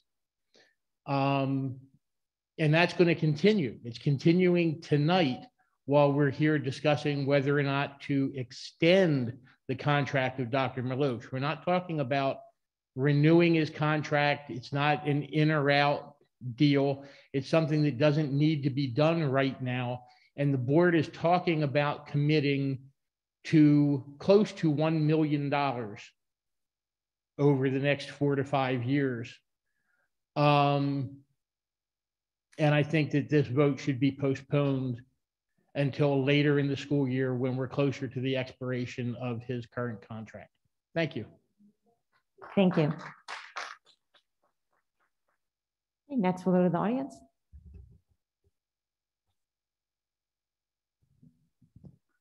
Good evening, Jen Nadio, Cherry Hill uh, Township. Um, First of all, I apologize. I wanted to be here longer, but I had to watch the West Marching Band, so sorry, have my priorities. Um, One of the things that I wanted to, to point out is that whatever the choice is, the goals that this board decided upon a couple weeks ago during their goal meeting they have to be pushed because whoever the superintendent is, it doesn't matter. If we don't start having more inclusion in this district, I applaud many of you on the board because you were talking about special education. You were talking about ADA changes. You were talking about equity for all students, equality for all students. That's where this district needs to make their changes. And that's what you were talking about, having the district follow. So keep up the good work. Keep creating these uh, goals for the district that are going to include everyone. And thank you. Thank you, Ms. We'll go to the audience. Ann Einhorn, 1017 Edgemore Road. I know that all nine of you received my email of last week, but the one thing I'm going to reiterate is that Dr. Joe Meloche has worked with one fifth of his staff for the last three years. And how does that work? I work in a dental practice, very small practice. We were down to th two employees and the dentist. How do you think that that worked? So you don't have enough staff you have god awful pandemic that none of us knows how to cope with initially. Some of us still don't know how to cope with it initially. All in all, I don't see not renewing Dr. Joseph Meloche's contract, mainly because you need continuity right now. If you thought it was bad now, you should have been around in the years of 64, 67, Vietnam, et cetera, when we needed real leadership and we got it to a certain degree.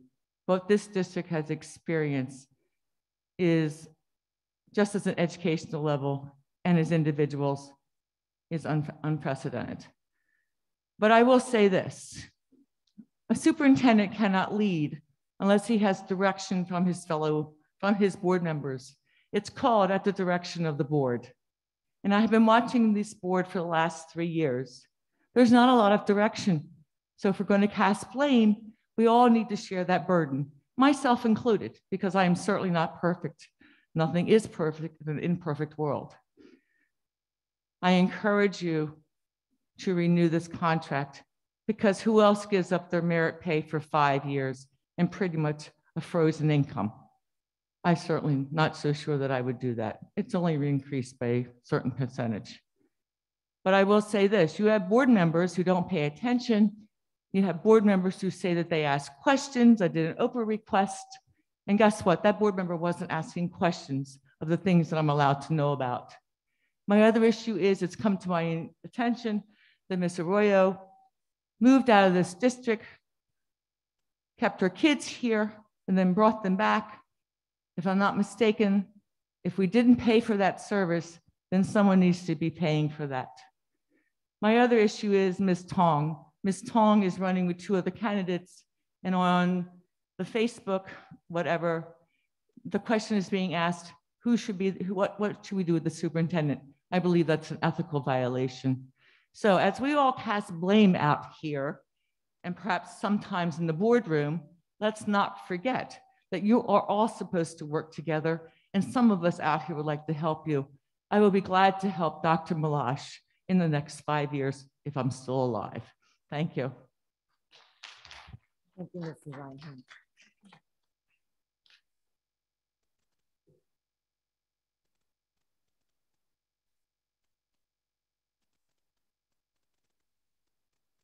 Okay, that then brings us to the end of,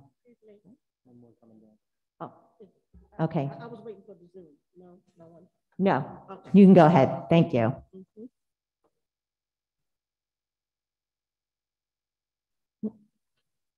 Good evening, everyone. My name is Nicole Nance, and I am a recent uh, resident to Cherry Hill, one year. I've been studying Cherry Hill for quite some time. And as a recent taxpayer and stakeholder, I am not in favor of extending or renewing a contract for Dr. Meloche. Having an African American Studies course is great. Having cultural studies courses are great. But having CRT, critical race theory, intertwined in any cultural studies group is an insult. It is an insult to me and all who taught me. And anyone here with a tablet, phone, desktop, you can Google how critical race theory came into existence. Curriculums with critical race theory based in its foundation is wrong. Curriculums are formulated and operated by human beings, and human beings operate based on belief systems. As human beings, our identity is not wrapped up in the color of our skin, and critical race theory is based on the premise of segregation, racism, and Marxism. Google it. You all have laptops. We all have tablets and we all have smartphones. So, as a human being, we're wrapped up in how we were created by our Creator, not the color of our skin. And to have a superintendent or anyone in the public education, in the public school system, be in favor of teaching a curriculum based in racism in any form should be an insult to us as human beings. I was not educated in the Cherry Hill public school system. So I can't speak on years and years and years. I can speak on research and I can speak on living here for one year. I can speak from teachers that I know personally and students that have attended this school and have taught in this school. So although I was not educated here in the Cherry Hill Public Schools, I am a, I'm a, I'm a taxpayer and I'm a stakeholder. And I am not in favor of extending or renewing his contract, whatever it is, extending, renewing, whatever. There is no reason to have any culture of, of people have their history taught based in any type of racism, segregation, or divisiveness. That's extremely insulting to us as human beings. So I will again say I am not in favor of renewing or extending anyone's contract that thinks a curriculum based in that is necessary for our children.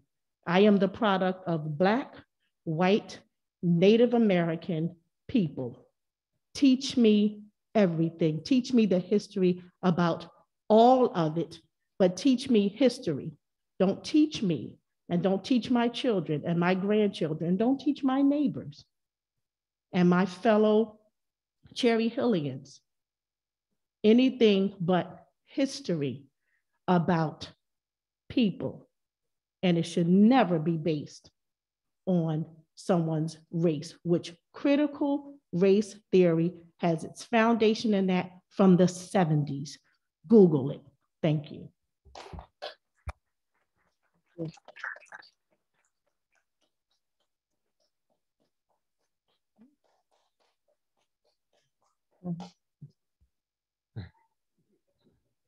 Okay, go ahead. Sorry. Sure. Uh, Yoni Yaris, Cherry Hill. I debated long and hard if I was going to speak or not, but these comments have been upsetting. As someone who dedicates himself and is on a lifelong journey, if you wanted were to study Dr. Helms' study of the identity model, of white identity model, there are multiple facets. I am only just beginning my own journey of that, but I am fortunate to be in a district led by Dr. Meloche, who sets this as a president. I'm now going to quote from my mentor and one of my professors, who is a giant when it comes to this, Dr. Khyati Joshi, who in fact has faced death threats for her support of equity in education. That is where we are in this country. That is where we are in this township. Racism is alive and well in Cherry Hill, and Dr. Meloche leads the effort in fighting back about that every day of his existence. He has taught me better than this from every moment on the benefit of his education, even though I'm not a student in the district anymore. I know my kids will be better because he helms it at the top. Anti-racism education begins at the top and trickles down from there. And we are fortunate that our district is led by five of the most incredible anti-racist educators, all sitting behind Dr. Meloche tonight. Anti-racist education is multifaceted. It starts with teachers and helps them recognize the biases and privileges that bring in, into the classroom about religion, race, sexual orientation, class, and gender, how their own identities shape their interactions with students. It also involves theories and information that probably weren't part of their teacher's K-12 or undergraduate studies. None of this is normal for them. It is all about going above and beyond. And Dr. Meloche makes it comfortable for people to go outside and to acknowledge the biases of their education going into this, this word CRT constantly comes up. It doesn't exist in K-12 education. Anyone trying to convince you of that is lying to you.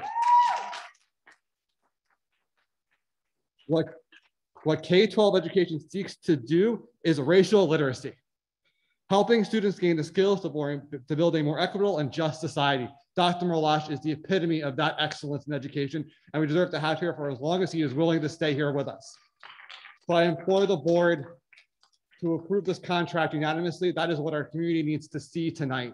It has become divided, it has become disgusting, and we need to take a stand tonight that racism has no place in Cherry Hill. Thank you. Thank you, Mr. Yaris.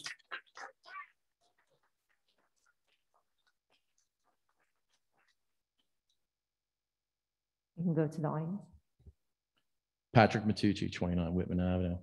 I asked the board to not renew Dr. Meloche contract. I view testimony of Cherry Hill faculty and its supporters that clearly shows that none of you are interested in the concerns of those who oppose his renewal, that you've already made up your minds, that this meeting is simply a performance so that you present the appearance and optics of fairness in response to what you believe is mere formality and a foregone conclusion. However, it is my hope that those in attendance who aren't sure where they stand, pardon me, will consider the following questions. If Dr. Meloche supporters believe he exercises the virtues of transparency, then why has the Board of Education, its support apparatus, and the Cherry Hill Public School System not revealed the entirety of this year's curriculum to parents who have requested to review it? If there's no political motivation behind their agenda to be concerned with, then why do members of the BOE, the Cherry Hill faculty members, and their supporters publicly describe those opposed to Dr. Meloche as a noisy little minority? Why do they claim that they are the majority? These terms and the context in which they're used are totally political in nature. They are polarizing, they are otherizing, and they are divisive. If you're just teaching history, why aren't you teaching all of it? Does your new curriculum teach that a political party was founded to fight against slavery, and which party that is? Does it teach the racist history of the opposing political party from the time of the Civil War to the Civil Rights Movement of the 60s? Does it teach about the systemic damage created by socialist causes championed by that same political party and that have made various minority groups and people of color dependent upon the government? Part of it. Does it teach about the oppression prevalent in every Marxist system that's ever existed? Does it teach that Marxism stands diametrically opposed to our own Constitution? If you don't teach these things I've described, is it because it makes you uncomfortable? Is it because it doesn't fit with your agenda? If the curriculum doesn't provide a balanced and accurate account of what you call history, then it's not history that's being taught. It's a political agenda being taught. Teaching a political agenda to a child for one hour a day, 180 days a year, for 13 years is absolutely the definition of political indoctrination and re-education. And that makes it unacceptable. For those reasons and others, I cannot support Dr. Meloche. Thank you. Thank you.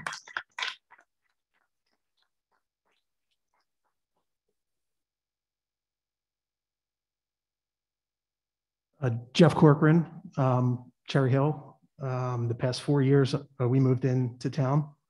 Uh, my background is I had eight years at St. Peter's Merchantville, and I graduated class 1998 Pennsauken High School. Um, I feel kind of like we're in the, an episode of the Twilight Zone because I'm not sure what everybody's talking about as far as racism being alive. Not in my town, not on my street, not in my kid's school. We're not racists. There are no racists on my street. I live on one of the most diverse streets in, in America. Black, white, Asian, um, you name it, Catholic, Jewish, everybody lives on Banner Road. We all get along. We all take care of each other. We're all friendly. My kids go to the English as a second language school in, in the district. Um, Joseph Sharp. It's a fantastic school. I don't know where all this racism talk is coming from. I don't get it. It's not my world. It's not the world that we live in. And it's being overblown, it's being sensationalized, and I don't like it. Um, I don't know what else to say. This is this is beyond me. This is beyond me. It doesn't exist.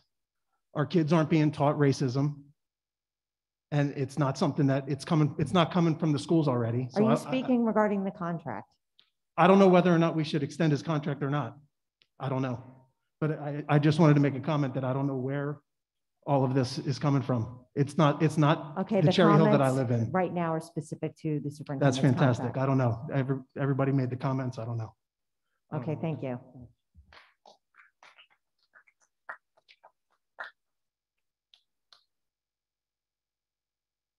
Okay, that brings us to the end of the public hearing on the contract. I'm now declaring the hearing closed.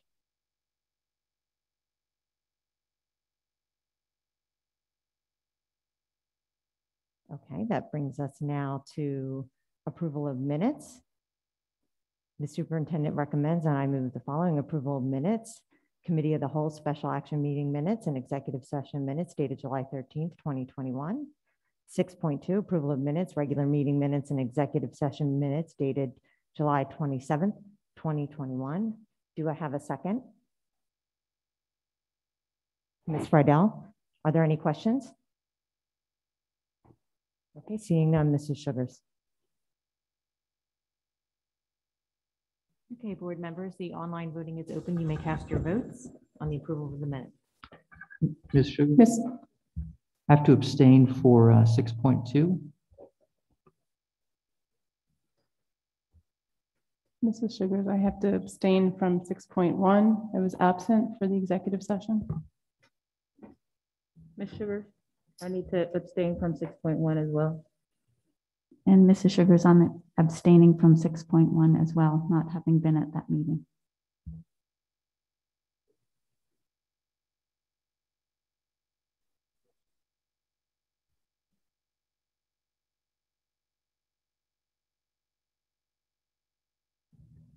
Okay, we have a unanimous vote other than the exceptions noted.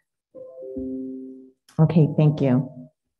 We do not have anything this evening for board recognition or under presentation, so that'll bring us to administrative reports, and I will turn it over to Dr. Meloche for the road forward. Thank you, Mrs. Neary. So I'm very excited tonight because Dr. Mahan, Dr. Morton, and I uh, are giving our last Road Forward update prior to the opening of the academic year. Our students will return on Thursday, September the 9th. We're incredibly excited, uh, and this is our final update before the beginning of the academic year. We will have additional updates as we as we open the year. The first one being on September 14th, which is our first board meeting uh, in September. So uh, we're projecting, and go ahead, Dr. Mahan, if you want to move to the next slide. So as we go through and have the discussion this evening, we're going to focus on four parts of the presentation. First, just a basic overview of our mission, our goals, uh, and our commitments, key information that we are looking at and talking about, and then the road forward committee update, and then some Q and A with the board if there are any questions um, to be answered. We use this foundationally each time we do the presentations, the district mission statement. Every time that we present it, I encourage people to take a look at it. I encourage people to read it and have an understanding about what we do foundationally in this school district, what we see as our mission. This goes from the board members to the administrative teams at the district and at the schools to our teachers. And it's something that we embody in the work that we put in with our students. Our district has three specific strategic planning goals that were adopted by the board in February of 2020. These three overarching goals are what we use to make our decisions when we are talking about curriculum, when we're talking about budgeting, when we're looking at all of the work that goes through. These goals came out of the work of an ad hoc committee that was created um, and was recommended following the bond referendum vote in 2018. Following um, the fall of 2019, there were focus groups that took place at all of our schools. Uh, there were meetings with PTA, there were meetings with staff members, there was an online survey. We ended up with thousands of data points. Uh, there was a group of representative stakeholders from across the district, from board members to students to parents to staff members, certificated and non-certificated, that spent a couple of days together and ultimately developed these three goals, which then were adopted by the board in February of 2020. Again, guiding lights for us.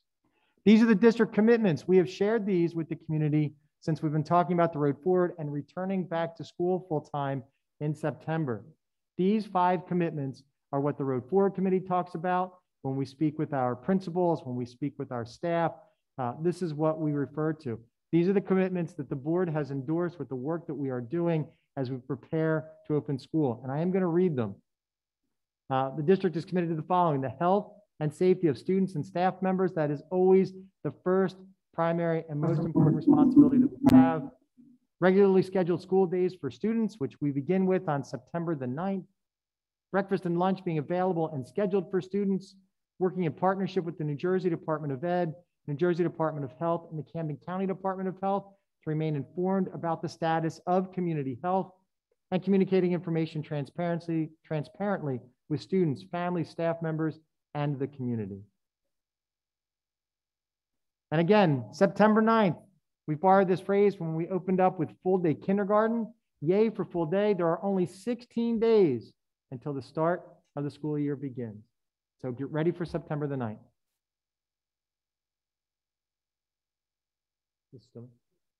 And then some key information, some things to review. First, uh, in reference to masks. As we know, Governor Murphy on August the 6th signed Executive Order 251. 251 states the following goes through all public, private, parochial, preschool programs in elementary and secondary schools, including charter and Renaissance schools, must maintain a policy regarding mandatory use of face masks by staff, students, and visitors in the indoor portion of the school district premises, except in the following circumstances. And again, provides criteria. We appreciate everybody that's in attendance tonight for wearing your masks setting that foundation and the expectation, modeling for our children what it is that we expect, respecting the health of everybody that is here. Again, this information goes through a criteria uh, when masks would not be required.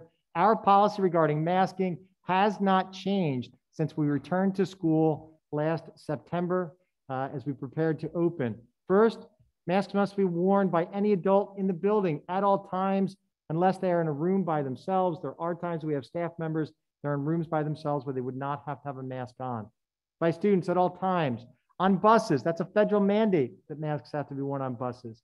In the hallway, cafeteria, and APR, going to and in the restroom, in classrooms. We're asking families, masks should be washed every day, every day that they're used before being used again, or if they're visibly soiled, damp, or wet. We will have disposable masks. We had disposable masks that are available tonight if folks forgot them, or if they did not have them with them. Any visitor to the building must wear a mask. They will not be permitted to enter the building without a mask. During the academic day, visitors will be screened when they arrive, including a temperature check before they are admitted, admitted to our school buildings. One of the things that we learned last year, uh, one of our bigger focuses all the time is about limiting the access to the building from people from the outside. There are only a handful of folks that need to come into the building other than staff and students on a daily basis. We're going to continue to uphold that as we move forward. The masking requirement does extend to evening meetings and events, held in buildings outside of the school day. It includes PTA events. Part of the process, we will welcome outside groups to use our facilities again after school and on the weekends, beginning again in September. They will have to adhere to the same policies and practices that go on. Uh, for our students and staff, securing accommodations in regard to masking is a very clear and well-defined process. It involves a licensed physician's orders, a review of the orders by our district's physician, and the inclusion of the accommodation in a formalized plan for either students or staff members. We are engaged in that process with a number of those folks right now. Meals. Very excited by the work that our team with Aramark has been doing in preparation for meal distribution. Breakfast will be served at school every single day. Lunch will be served at school every single day. In terms of breakfast and in terms of lunch, the Department of Agriculture at the federal level has extended the free meals program. Every child in the district is eligible to receive a free breakfast and a free lunch when they are at school. Now, children are not required to take the, the district provided breakfast or the district provided lunch. Specific information about how that's going to be distributed, where the children are going to eat, will be coming out from principals, I believe, this week, 31st, next Tuesday. Uh, that will come out from, from uh, principals. And there will be a different, different types of protocols that will be in place depending upon the structure of the building, the size, and the age of the children. Uh, in this presentation, which we posted on our website, there's also a link to the meal calendars uh, where families can go on. I believe they will be updated the week before school opens. And again, as I said, building specific information about meal distribution will be coming out. We are still asking all families to complete um, the application for free and reduced meals. It's important. This free and reduced meal application is something that allows us to secure additional funding for additional programs to support students in many of our schools. Even though the meals will be free for everyone, we are asking every family to still to complete this form. It does have a funding impact on money, many of our schools. And for lunch, same thing. Um, there's information up here about the elementary schools, middle schools, and high schools, uh, a broad overview of what that will look like. Again, specific information will be coming out from the building principals that's germane based on the size of the school, the enrollment, and what the structure looks like. I will also mention that at the elementary right now, we are still trying to hire additional educational assistants to add additional support specifically during lunch and recess time. We're looking for people basically to work between 10 and 2, those four hours in the middle of the day. It's part of the educational assistant group that we have. We want people to come in to be able to provide additional support specifically for lunch and recess. We're looking to hire two new staff members for all 12 of the elementary schools. We're not quite halfway there yet in terms of getting, getting people um, that are interested in taking those positions. So if you know anybody in the neighborhoods, if you know anybody that's at home that's interested, have them go to the website, fill out the information, If they're not sure where to go or to apply, have them contact us directly as well. All right, now I'm going to turn it over to Dr. Morton, yes? Yes, sir. Thank you so much, Dr. Meloche. Appreciate those uh, comments. Appreciate you turning it back over to me. Uh, so the Road Forward Committee. So as you'll see, uh, meeting dates, we had our third meeting of the committee last week.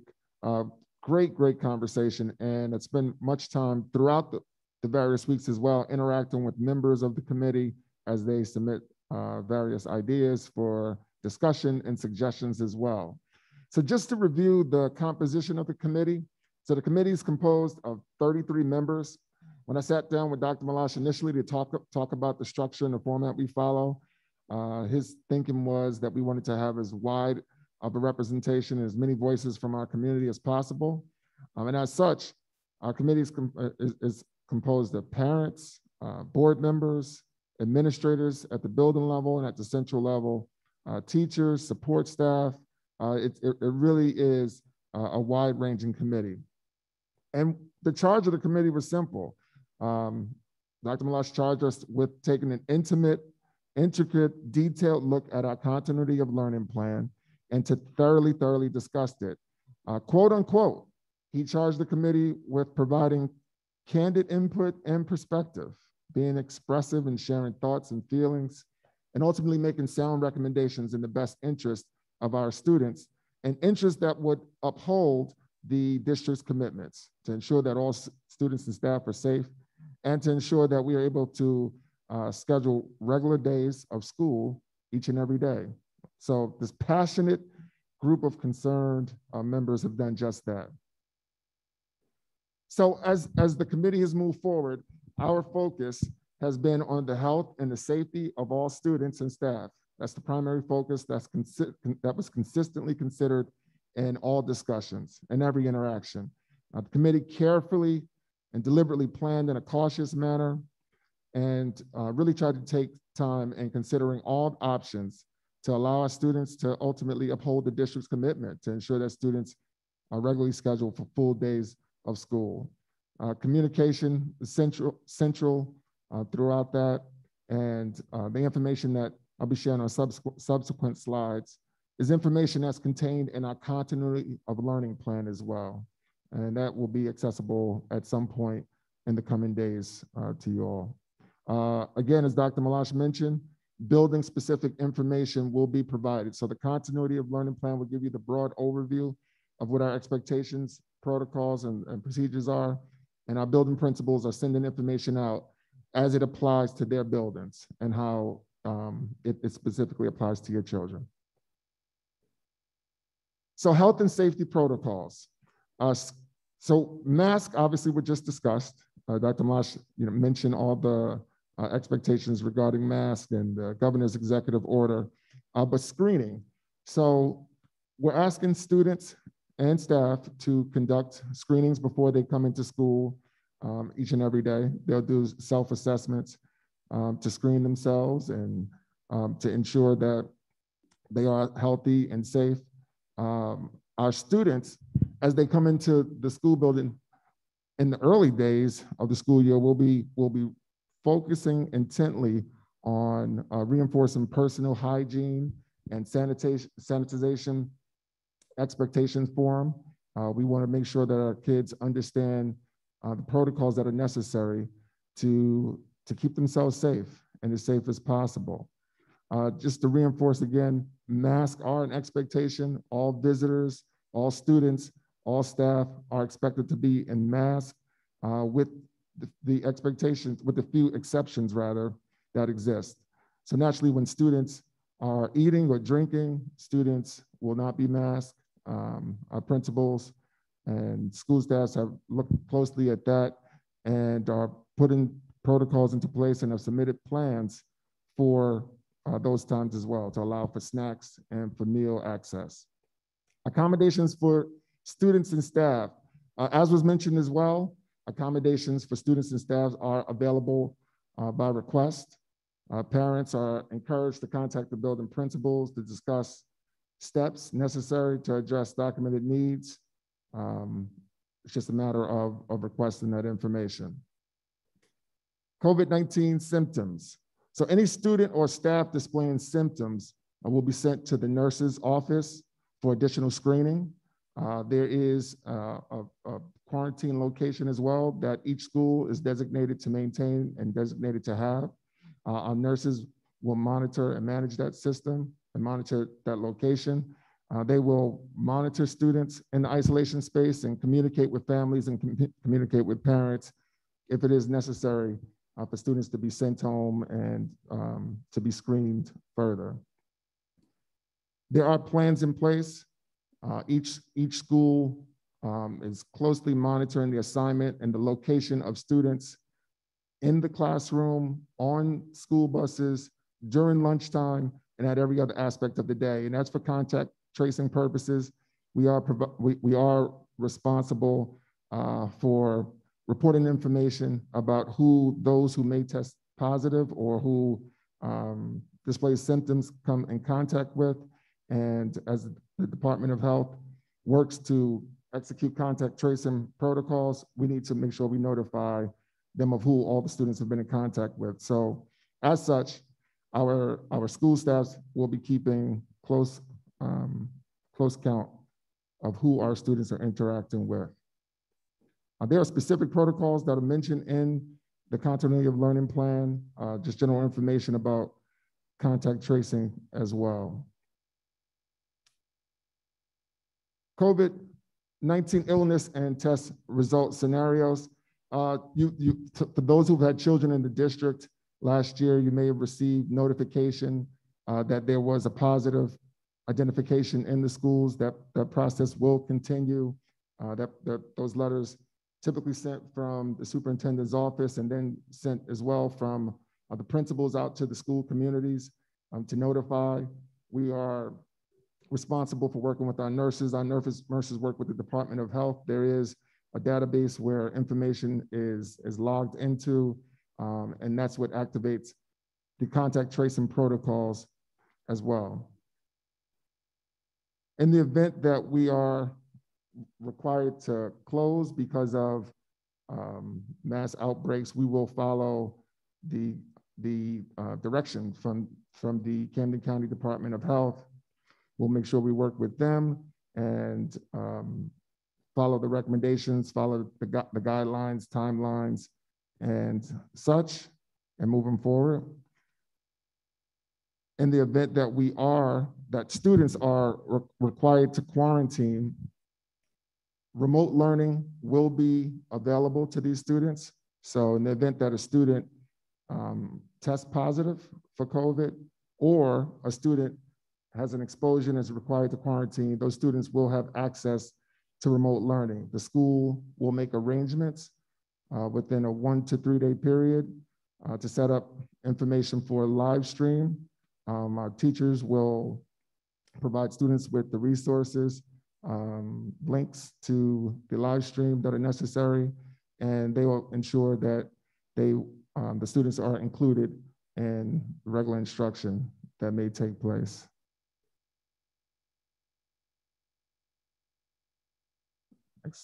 School operations and procedures. So student flow, entry, exit, and common areas. So student flow, entry, exit, and common areas, this information could differ just a, just a bit by school based upon location and based upon uh, the facility in and of itself. This information will be, uh, will be provided by building principals. Um, as we mentioned, I think the day we mentioned was the 31st, uh, that this information will come out. Uh, you can expect to see diagrams as well as detailed information about um, arrival, lunchtime, dismissal, um, things along those lines as well. Uh, meal, meal access and cafeteria procedures were mentioned just a bit. Again, building principals will communicate specific information for their locations. Um, we are privy, obviously, to the plans that have been set forth. I can tell you that as, as per the district's expectation that all students receive breakfast every day and that all students receive lunch every day. Our, our principals are planning for students to be able to maintain social distance, to be able to maximize outdoor spaces as much as possible for ventilation purposes, and to ensure that all kids are offered the opportunity to eat. Our students may bring a lunch with them themselves, but as was mentioned, lunch will be available and breakfast will be available free of charge to all of our students this year. Again, we're, we're encouraging all of our families, ensure that you complete the free and reduced meal lunch application. Visitors to school. So visitors to school will have to have to follow a screening process. We will um, ensure that temperature check is taken and um, make sure that the, person is, is safe before they are able to enter the building. Uh, we're asking, as we have in the past, uh, for appointments to be made. Uh, so visitors should have appointments um, prior to, to visiting the school and, be, and receiving access to such. Transportation, so transportation, so students on school buses uh, will be required to be masked. Our students will be required to be masked as per um, mandate. Um, bus drivers will be masked, bus aides will be masked at all times as well. Um, masks will be provided by the district if uh, bus drivers or students do not have one. Um, all routes will have assigned seating. So this goes back to the contact contact tracing protocols that we talked about just a bit. Uh, siblings or members of the same household may sit together, uh, but students are expected to remain in their assigned seats throughout the duration of, of the time that they're assigned to a specific bus. Uh, windows will be some windows will be open on the bus to try to create uh, ventilation and airflow. Um, and then high touch areas on the bus will be sanitized between routes as well. And each, each bus will be thoroughly sanitized at the end of the run in the evening. So this year we're trying to normalize the experience as much as possible. Um, sharing of items will be permitted. As I mentioned earlier on the personal hygiene slide, um, we are trying to reinforce health and safety procedures, and that includes uh, hand washing, hand cleaning, um, sanitizing one's hands. There's sanitizer available uh, in all classrooms and all locations. You'll probably see many bottles around this, this auditorium here, as well as hand wipes. So we'll be encouraging our kids and exhorting them to do just that, to make sure that they're following proper hygiene procedures to ensure that they're able to, to share items this year. Playgrounds will be utilized. Again, playgrounds will be utilized this year. Uh, to go back to what I just said, uh, personal hygiene will be of primary importance and, and, and it will be reinforced for us to ensure that our kids can continue using their play, using playgrounds. So use of lockers. So there've been quite a few questions about the use of lockers. Um, at the secondary level, the middle and high school levels, lockers will, will universally not be assigned as they had been in the past, but lockers are available upon request. So if an individual um, is desirous of using a locker, you simply just have to make a request through the principal and that will be arranged for you.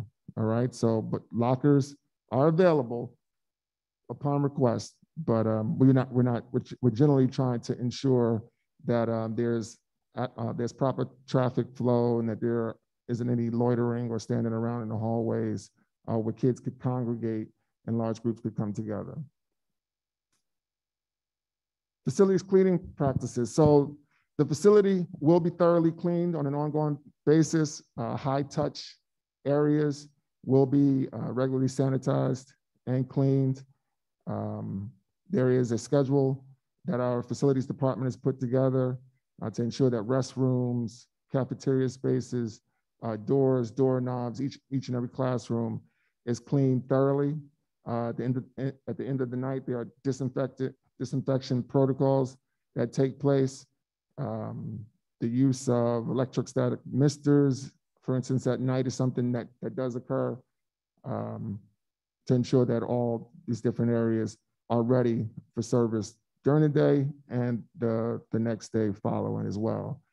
Uh, we'll be promoting proper ventilation as well. Uh, I believe there are portable air purifiers that have been purchased for all classrooms and for all office suites also. So those are on their way out to schools if they have not arrived already.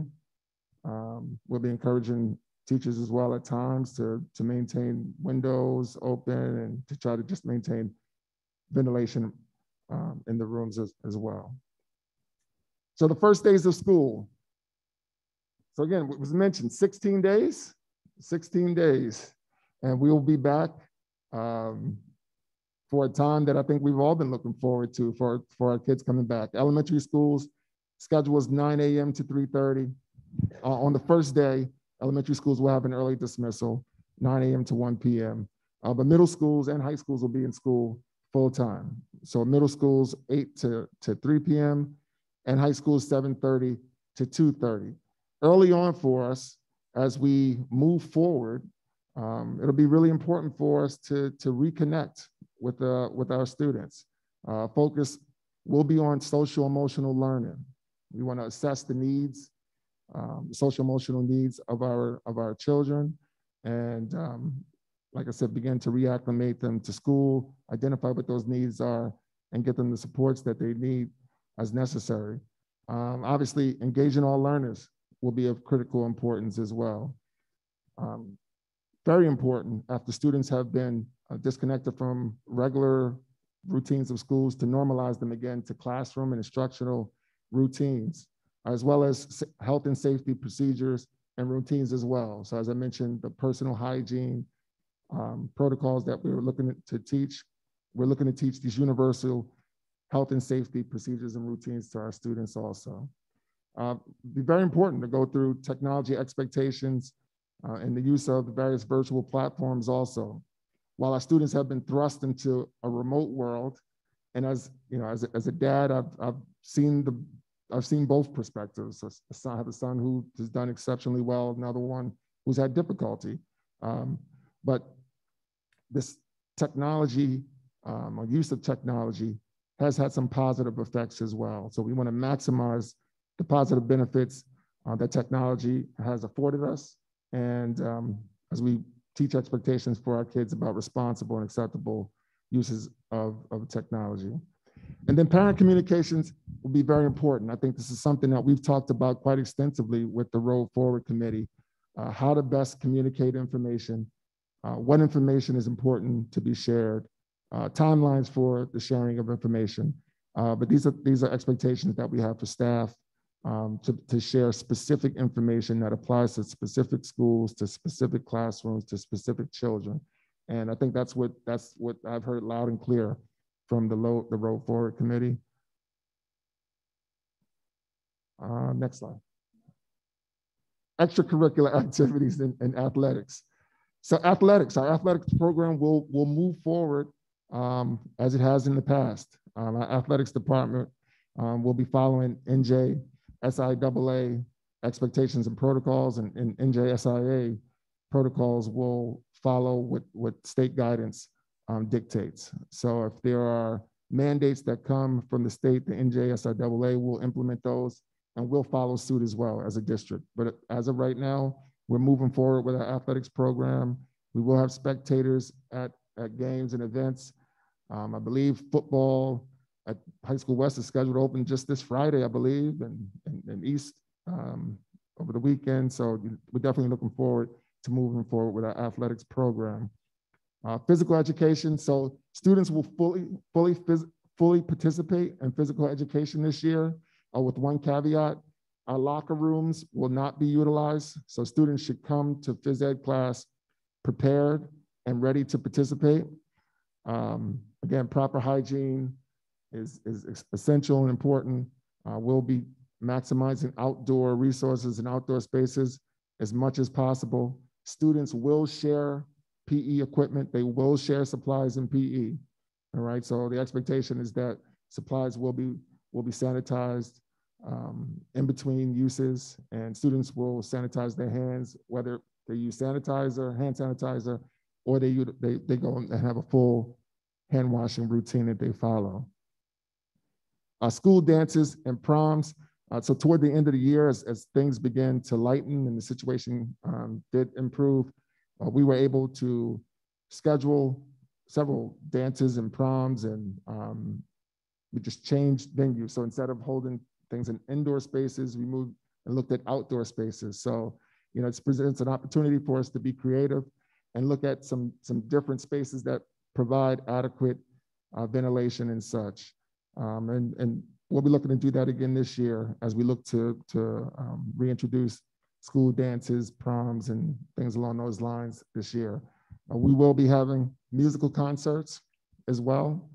Um, again, I can't emphasize enough the importance of proper hygiene and safety and sanitation and social distance for everyone. Um, musical concerts that may be inside will require spectators at this point to be masked. Uh, in school plays, musicals, and theatrical productions, we'll be moving forward. Uh, we're moving forward with that as well.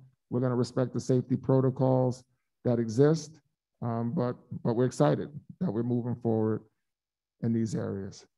All right, I'm going to turn it over to Dr. Mahan. Thank you, Dr. Morton, and thank you to Dr. Meloche. Our next slide speaks to student supports. As you are all aware, we have a, a, very robust English as a second language program. We offer English as a second language in six of our elementary schools and all of our secondary schools. This continuum of services will continue in person. Regarding school age childcare, the SAC program is preparing to welcome students back for the 2021-2022 school year. If you have not registered and you need before or after care for your elementary age child, please go to our district website where you can find all forms and information. Again, the program is ready, operational, and functional for the upcoming school year. We recognize that students will continue to need supports for online learning. When I speak of needing supports for online learning, there were definitely some takeaways that we took away during the pandemic, including some technology-based platforms that we will continue to use during the 2021-2022 academic year. Teachers, as well as our technology team, are familiar with these platforms and will continue to support students as they utilize them. Our technology department continues to support excuse me, our technology department continues to support the closing of the digital divide. We continue to provide devices to students in need so that they can complete their assignments and connect into the classroom as needed. We also continue to provide hotspots so families can have access to internet and Wi-Fi. The studentsupport.com email continues to be alive and well for parents, students, community members to have any of their technology issues addressed. Our special education and related services. Again, we have a continuum of services to support this population of students. Something that we learned during the pandemic is that sometimes having virtual meetings for parents is the most effective. So IEP meetings will be held virtual and or in person as agreed upon with the parents. All related services for students will be held in person. And on a previous slide, Dr. Meloche spoke about lunch and breakfast. I just wanna make sure that everyone is aware that for many students in out-of-district placements, we have many students in out-of-district placements, they will also receive free lunch and breakfast during the 2021-2022 school year. Grading. Classroom teachers will continue to communicate the grading practices which we have in place within Cherry Hill Public Schools. We will continue to administer district assessments and standardized tests. The Start Strong assessment, which we are which we must implement as dictated by the New Jersey Department of Education, will be implemented between September 13th and October 22nd. Information regarding the Start Strong assessment will be shared with all families. The New Jersey Student Learning Assessment, we have not received information as to when this will be administered in the spring of 2022. All of the report card and interim dates have been established and posted to the district website.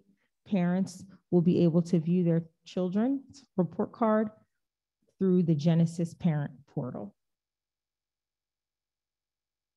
District communication. So Dr. Meloche and Dr. Morton both referenced communication from the building principals. Although we provide a district view of the, the road forward, it is imperative that the building principals provide information to their school communities. We have mentioned August 31st numerous times. So what will you receive on August 31st? You will receive a welcome back letter from the principal. They will share diagrams of their schools, detailed directions of arrival and dismissal procedures, detailed breakfast and lunch procedures, pictures of classrooms, documents that they believe are pertinent to their individual school communities, a welcome letter from our superintendent, Dr. Joseph Meloche, and information on back to school nights. All of this information will be targeted and specific to the respective school. There is a significant amount of district communication that is also readily available. It includes weekly newsletters, Minute with Dr. Meloche videos, social media district website postings, and emails. And then, as I've already mentioned, school-based communication, which really seems to be the most important when reaching out to our families, which again includes updates from the principals, social media, websites, and blackboards. I cannot emphasize enough that there is a significant amount of information that is readily available. If for some reason you do not have access, please reach out. We will either provide it and or connect you with the right person. This safe return plan is posted to the district website. If you would like to review that plan, it speaks to how we as a district are planning to return safely. Formal presentations will continue, tonight being one. The next formal presentation will be on September 14th.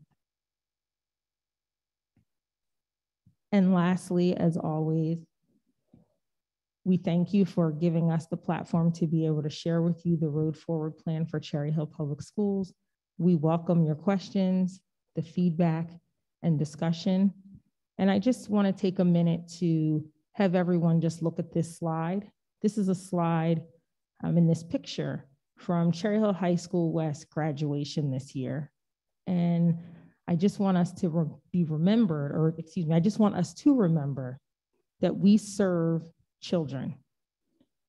And if that smile does not resonate with all of you, that regardless of what our experience has been, your experience has been, we have students who are happy, healthy, thriving, and successful, even during the pandemic. So as Dr. Meloche kicked off the presentation, yay for full day and a return to school. We are 16 days away and we are excited and encouraged to welcome almost 11,000 students back into the halls of Cherry Hill Public Schools. Thank you. Thank you, Dr. Mahan, Dr. Morton, and Dr. Meloche for that presentation. Were there any questions from the board members? Ms. Stern? Thank you, Mrs. Neary, and thank you to Dr. Meloche, Dr. Mahan, and, and Dr. Morton. Really helpful, very detailed. I know it's kind of a lot of information, but I think providing that just always helps us all understand what's happening and stay informed. Um, so, um, and I just want to mention a couple things, just a couple questions. I'm excited to be part of the Road Forward Committee. A lot of great discussion there. Um, I just wanted to check on the, um, any updates on the covered, they're not tents, I know, they're kind of covers that are gonna go outside. I, in terms of the timing of when they might be in and whether or not students will be able to be outside, perhaps for lunch, if to know as part of the discussion, even if they haven't arrived in time. That's my first Yeah, so question. the- the- The shade structures, we expect sometime late in September. They've been delayed. Uh, There are some supply chain issues with getting all of the materials to put them up at the 12 elementary schools. Children will still be allowed to go outside, uh, and there'll still be opportunity to eat outside, even without the shade structures being in place. Thank you. And then um, just to clarify, and I think this was already just stated last year, but that students who are fully vaccinated, if there's an exposure, is it that they do not need to quarantine? Is that still the case?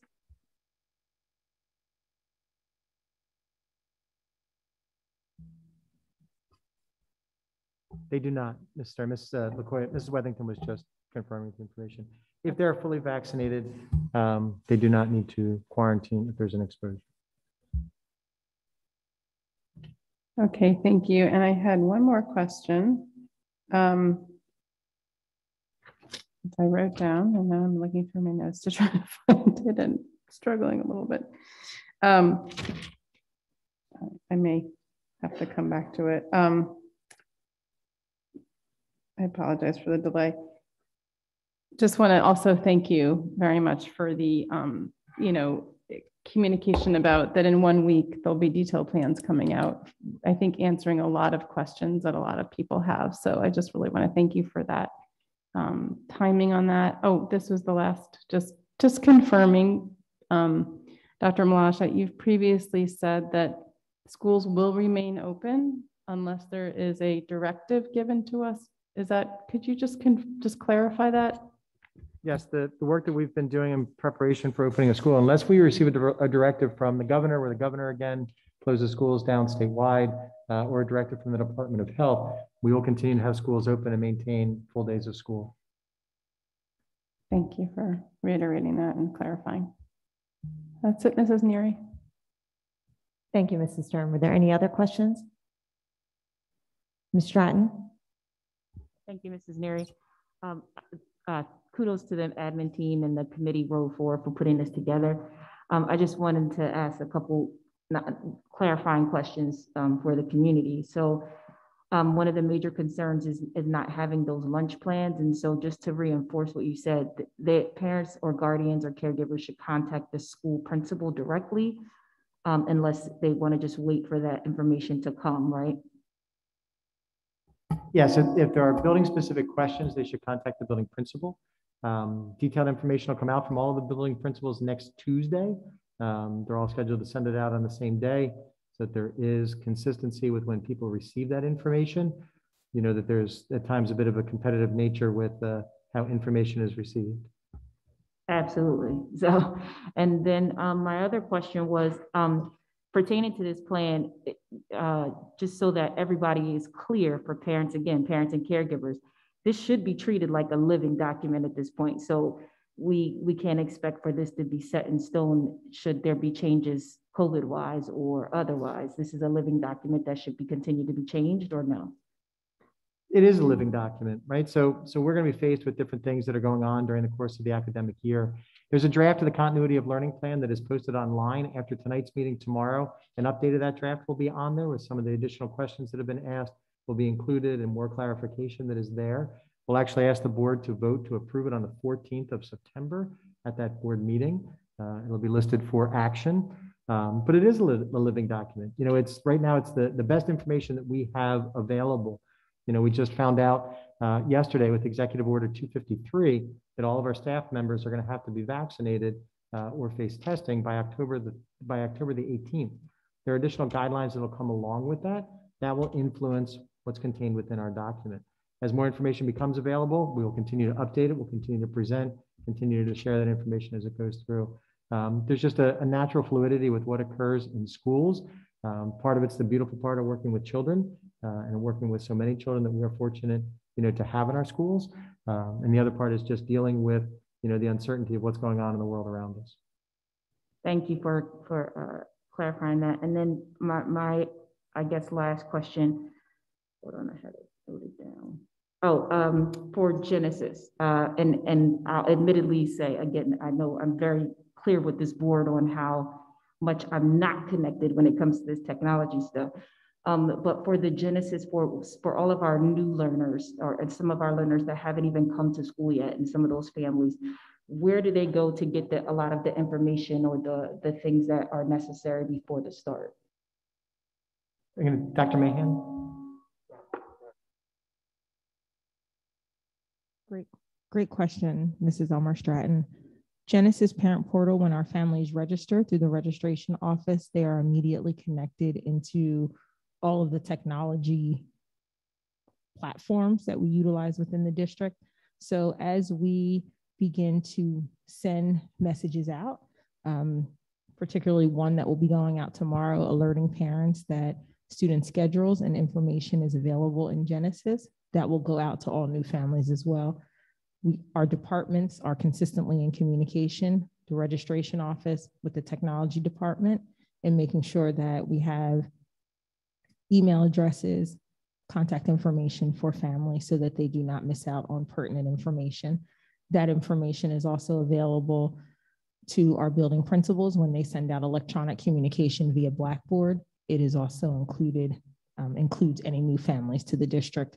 If for whatever reason a new family hears that something was sent out and they did not receive it, immediately reach out to the building principal because that information is available. Great, because that, that, that's exactly what I was gonna mention, is that we're still gonna use all those other forms you- in your communication slide, like SMORE and Blackboard and all those different channels. Yes, all of the forms, um, actually, when you receive the correspondence in the coming days, parents will have to complete all of their forms through the Genesis Parent Portal in order to have access to schedules and other pertinent information. Got it. Thank you so much. You're welcome. Thank you, Mr. Stratton. Were there any other questions?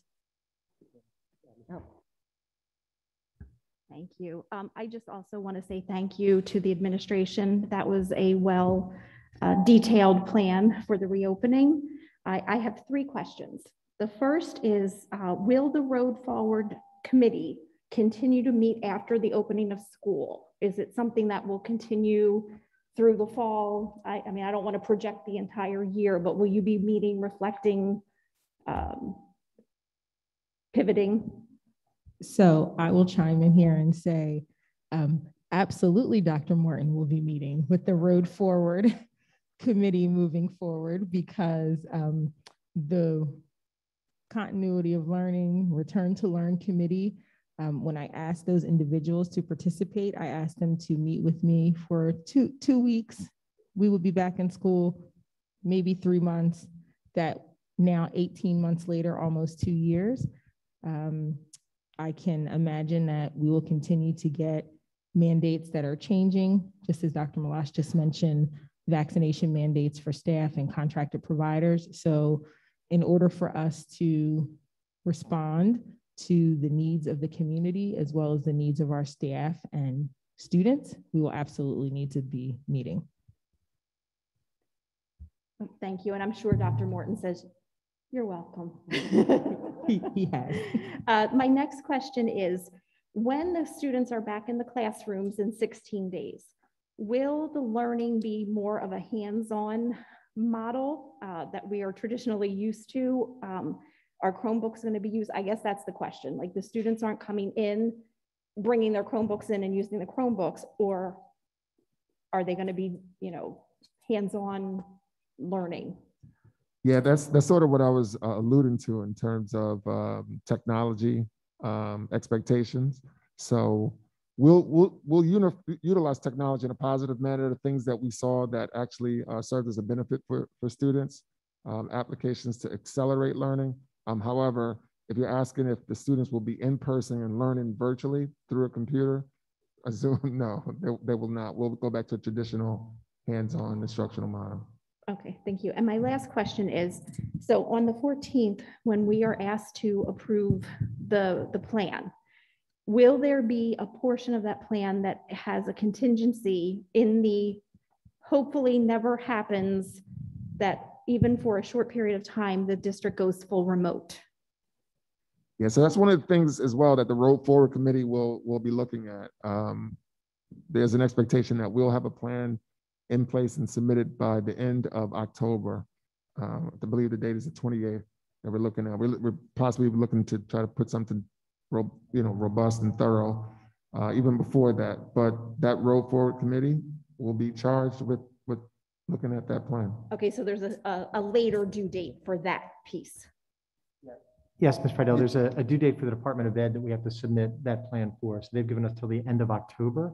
Um, so there will be a contingency that's being built. Um, should something happen, an emergency before that's done, submitted to the Department of Ed, um, we would make announcements about what that would look like. Most likely revert back to something similar to what we did last year. Great, thank you. That's all my questions. I, had a quick question um, on the heels of Ms. Friedel's question. Um, in that we're looking at those contingency plans. Are we looking at changing and modifying um, for what worked and what didn't work and the learnings from last year as part of that? Should we need to go full remote again or even hybrid? Yeah. So one of one of the fantastic things about uh, that committee is that it's a it's a it's a diverse group um, of individuals who experienced the pandemic in all different ways, and I think uh, the candor and, you know of the conversations has been great. Um, so we are looking at what worked.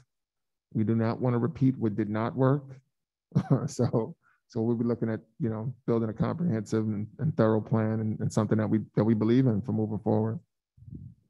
Great, thank you. Ms. Stern? Um, just a quick comment as a member of the Road Forward Committee, I just want to echo that, um, you know, I, I think there's, it's been a really very lively, interactive group. A lot of voices are being heard. And I, I really appreciate that in the group. And I think, um, you know, I think there's a huge commitment from the people there. And there's, there's, there's a positive energy about being part of that, even though it's, yes, Dr. Mahan going to be a long, long haul for this uh, committee. Um, and I think one thing that was really positive recently too, I just want to thank um, Dr. Morton for sharing. Um, you know, people are on the committee are, are bringing ideas and, and sharing plans that they're learning about from other districts.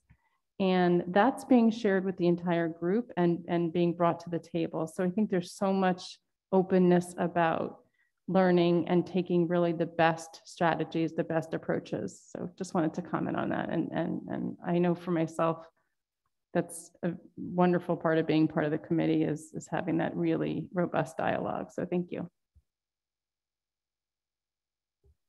Thank you, Mrs. Stern. Was there any other comments or questions? Okay, thank you. That'll bring us to correspondence. Did any members of the board have correspondence?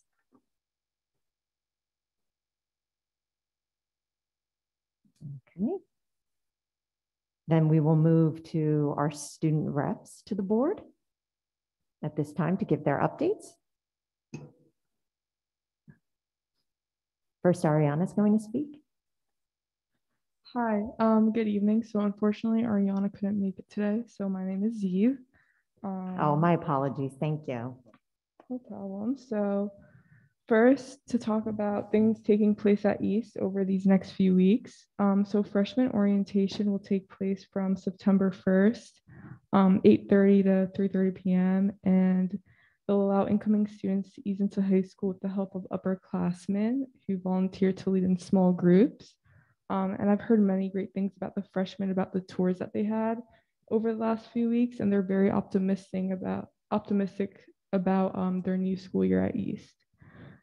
Preseason is going well for fall athletes currently. Um, they're getting into drills that'll help them ready get for, get ready for games and also team bonding activities. Um, for example, girls soccer had an Olympics day where they broke up into eight teams and they really enjoyed it. Um, and then some incoming seniors attended a free college essay workshop, which took place from 2.30 to 6 p.m. on July 15th, and then again yesterday from 10 a.m. to 1 p.m. Um, and they were able to get some great personal and supplemental essays done with the help of a teacher. And lastly, uh, Jewish students are looking forward to Rosh Hashanah, which is September 6th and September 8th. Um, next, in regards to clubs for this year, club officers are promoting their clubs through Instagram and the Cherry Hill East Activities Instagram, and they're encouraging all incoming students to join or reach out with any questions. Um, Drama Club is planning on doing all four shows this year um, as if it would be a normal year, and hopefully um, they're going to host the Halloween dance and field trips to Broadway shows or local productions. Um, and then the Club Tools for School just had their two annual packing events last week in Philadelphia and two weeks ago in Margate. Their goal is to fill as many backpacks as they can for students in need. And with fundraising and sponsorships, they packed over 3,000 backpacks, which was amazing to see. Um, student organizers, Gina Liu and Aiden Rude, um, with Students for Later Start Times, recently met uh, with the board, um, President Neary and district administrators, and we're proud to help initiate a process that will in the future examine our school start times for the future. And they wanted to thank you for your support. Um, the club Students for Solar Energy aims to get the board to implement clean and renewable solar energy throughout the district and primarily are pushing for an assessment of Cherry Hill schools to see where solar panels can be placed. They've already met with a few administrators who have expressed their openness, but also drawbacks such as obviously finances and space. Um, but they continue to push uh, for the Board of Education to look further and implement. And then our school newspaper, Eastside, is finally excited to meet again in person after a year of virtual meetings and are looking um, forward to an amazing year. Um, moving on, in a random survey regarding student opinion on this year's summer reading selection, about 54% of students said that they liked the selection, while the other 46 expressed discontent. Um, and then of the students that expressed their discontent, Um, they ultimately liked the theme, but they felt that the theme did not reflect um, the required AP readings or their book of choice properly. Um, and the reason for that could be because of the designated themes for each grade level, as these had done in previous years, which they did not do this year's.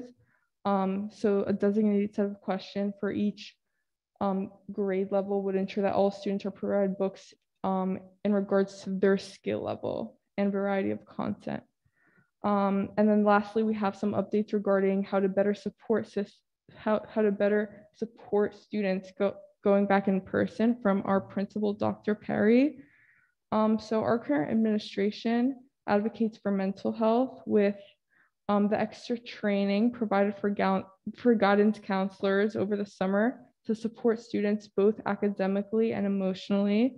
This training included gaining knowledge of resources in our community to support students. Um, as Dr. Meloche mentioned earlier, everyone gets a free breakfast and free lunch if they choose, um, this year provided by Aramark. And for this lunch break at East, in order to provide structure for students to get acclimated first, there will be mandatory homeroom, at least for the first few months of school um, for the freshmen. And we will also open up the courtyard adjacent to the annex, which is another um, place outside for students can sit and have more room to um, eat outside without being clustered indoors. Um, and then as Dr. Mahan mentioned earlier, student schedule will be available in Genesis starting tomorrow with the teachers and the schedule A through E. Thank you. Thank you. Next, we have the student report for Wes. It's Kevin Salvatorelli. Hello, and thank you. Um, so I'm going to start off with some school news, which is first of all a clarification on our school start times and also the breakfast or before school breakfast. So Aramark will be providing before school breakfasts, um, which will be available from approximately 7:15 to 7:30. All students are able to get that for free, uh, thanks to a program by the USDA. Um, school will be starting at 7:30 with classes starting at 7:30. So I recommend to all my peers to uh, start setting your alarms now because that is a drastic change from our 9:45 last year. Um, today also marked the first day of our freshman orientations. Um, freshman orientation runs across three days here at West, um, and we provide incoming students, which are not only freshmen, but also of other grade levels, um, an opportunity to explore the school, meet their peers and teachers, and run through their schedule. And most importantly, be welcome to the amazing West and Cherry Hill communities. Um, the orientation is expected to conclude with a, the iconic barbecue, which is run by West administrators for all people who attend the orientations. In activities news, we have the Senior Sunrise event, which is um, planned by the Class of 2022 Executive Committee. Um, it'll run at 6.30 a.m. on the first day of school. Um, it is symbolic of the beginnings of the last year of school for our seniors. Um, it will help show or help bring everyone into a smooth transition for the start of the school year. The peer leaders will also be going to the YMCA of the Pines on August 29th and August 30th, which will be continuing this year's long tradition of team building and learning. The Peer Leaders Program provides um, additional support to incoming freshmen as well as students across the school to help get them equated back to the normal six-day schedule as well as the overall high school environment.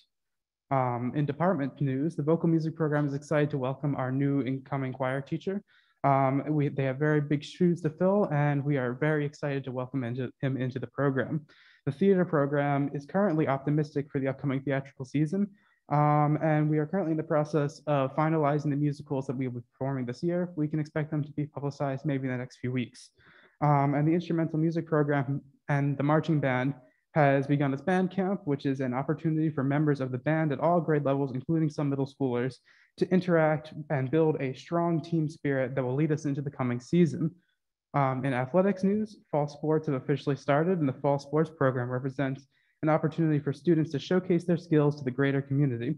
Sports also act as an important outlet for students uh, in the high stress environments schools sometimes can be. The West community is elated to see the return of fall sports in full swing for this school year. Specifically for the football team, they've also started their scrimmages and are preparing for upcoming games with, during the school year.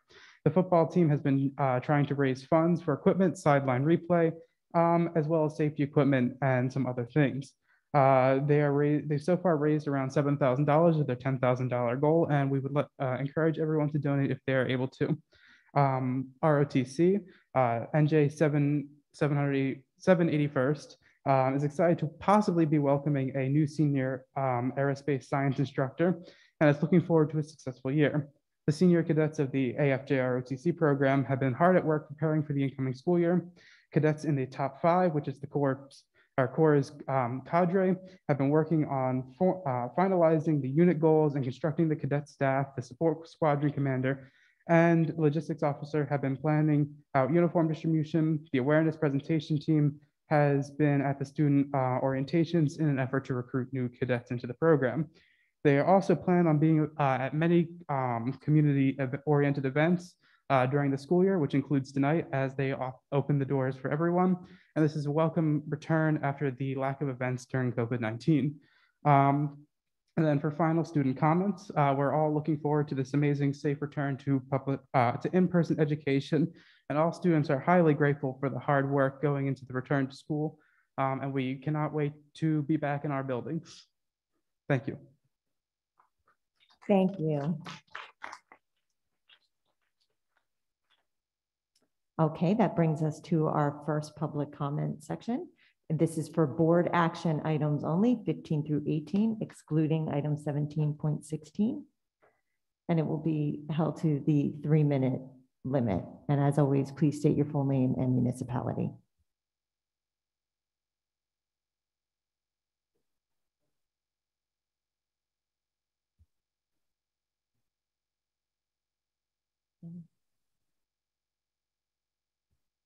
Okay, we have Crystal Ye on the line. Hi. Um, uh, is there a timer going on right now?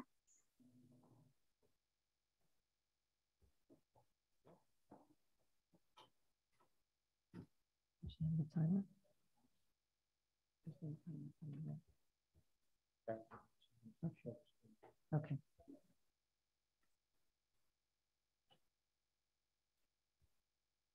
There's confusion from the public if 15.11 includes the AA curriculum. 15. Okay, thank you, Mrs. Yaras. We'll acknowledge that in a moment.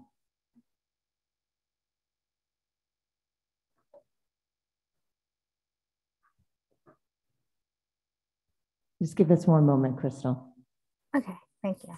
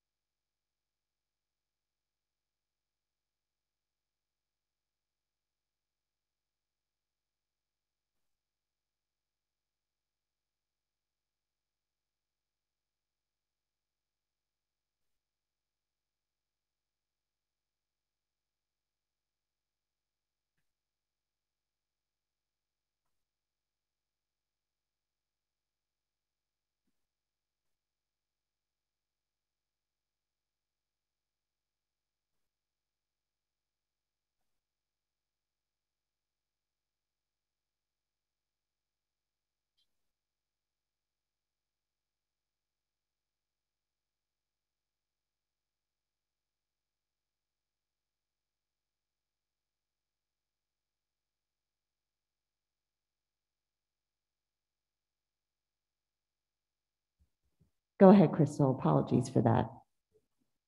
Uh, it's all good. Um, I just had a question that just as a student, is it all right if what I say next isn't part of the agenda?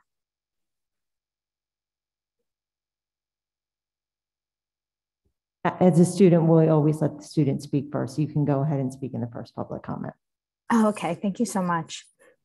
So uh, as I mentioned, my name is Crystal Ye, and I am a rising sophomore at Cherry Hill High School East. And um, the impending dangers of climate change affect us all, and the Cherry Hill District, who highly value the well-being of their students and staff, should do their part to implement solar panels in the district to protect both our community and our earth. By continuing to use the same non-renewable energy sources we are currently using, we're not only enabling the fast progression of climate change, but we are also directly worsening students' asthma and the air quality around us. An assessment of the school district would find where these solar panels could be installed. Uh, solar panels are extremely versatile and can be placed on the school roofs, on unused fields, over parking lots, for streetlights, and more. And solar panels over the parking lots would also help protect the lots against snow freezing over and from rain pouring down as students and staff walk to their car. And just as other school districts have implemented solar panels such as Stratford, Evesham, Gloucester, and Voorhees, Cherry Hill should as well, especially as the 11th largest district in New Jersey, since we'd also have a larger carbon footprint from the consumption of fossil fuels. And without solar panels, we're also wasting money on non-renewable energy that could be allocated to other more important areas in the district. To install solar panels, we don't need to wait years for a bond to be passed, especially since so many renovations are currently happening at the moment all over the district. We can do it through a third party. In fact, 79% of the solar uh, of solar panels installed in schools was financed by a third party, party, such as a solar developer. This allows schools and districts, regardless of the size of their budget, to purchase solar energy and receive immediate energy cost savings. After talking to Dr. Smith, um, former assistant superintendent and now current Evesham superintendent, we found that this is exactly what their district did. They had solar panels installed through a power purchase agreement, and all costs were built into the project. There were no upfront costs to the school district, and the Evesham School District now buys its electricity from the company Spano Solar Enterprises, who installed the systems at a discounted rate. And the district now saves $30,000 to $35,000 a year at each site. Now, on behalf of my fellow classmates and staff, I speak for their health. And on behalf of our taxpaying parents, I speak for an effective use of their money to the district. And on behalf of our planet and home we share, I speak for actively working against the progression of climate change before the damage is irreversible. I ask you now to please have an assessment of the schools to see where solar panels can be installed in this district. Thank you for listening. Thank you, Crystal. Okay, Mrs. Yaras, apologies for that. Thank you. So I could speak on the AA curriculum in 15.11? Yes. Okay. Alana Yaris, uh, Cherry Hill. As a member of the Jewish community, I'm thankful for my ancestors before me who spoke out against the education of the Holocaust in New Jersey and in the United States. And without them, I believe that people would still not be educated about the Holocaust. The same thing is happening now with the African American Studies curriculum, that there are people speaking out against the education of our children and how they should learn about how they have been treated in this country. And I just thank the district for uh, hopefully approving this curriculum so that all students feel that they are represented in the curriculum the way I, as a Jewish person, feel represented when the Holocaust is discussed. Thank you. Thank you, Mrs. Yaris. Okay, from the audience.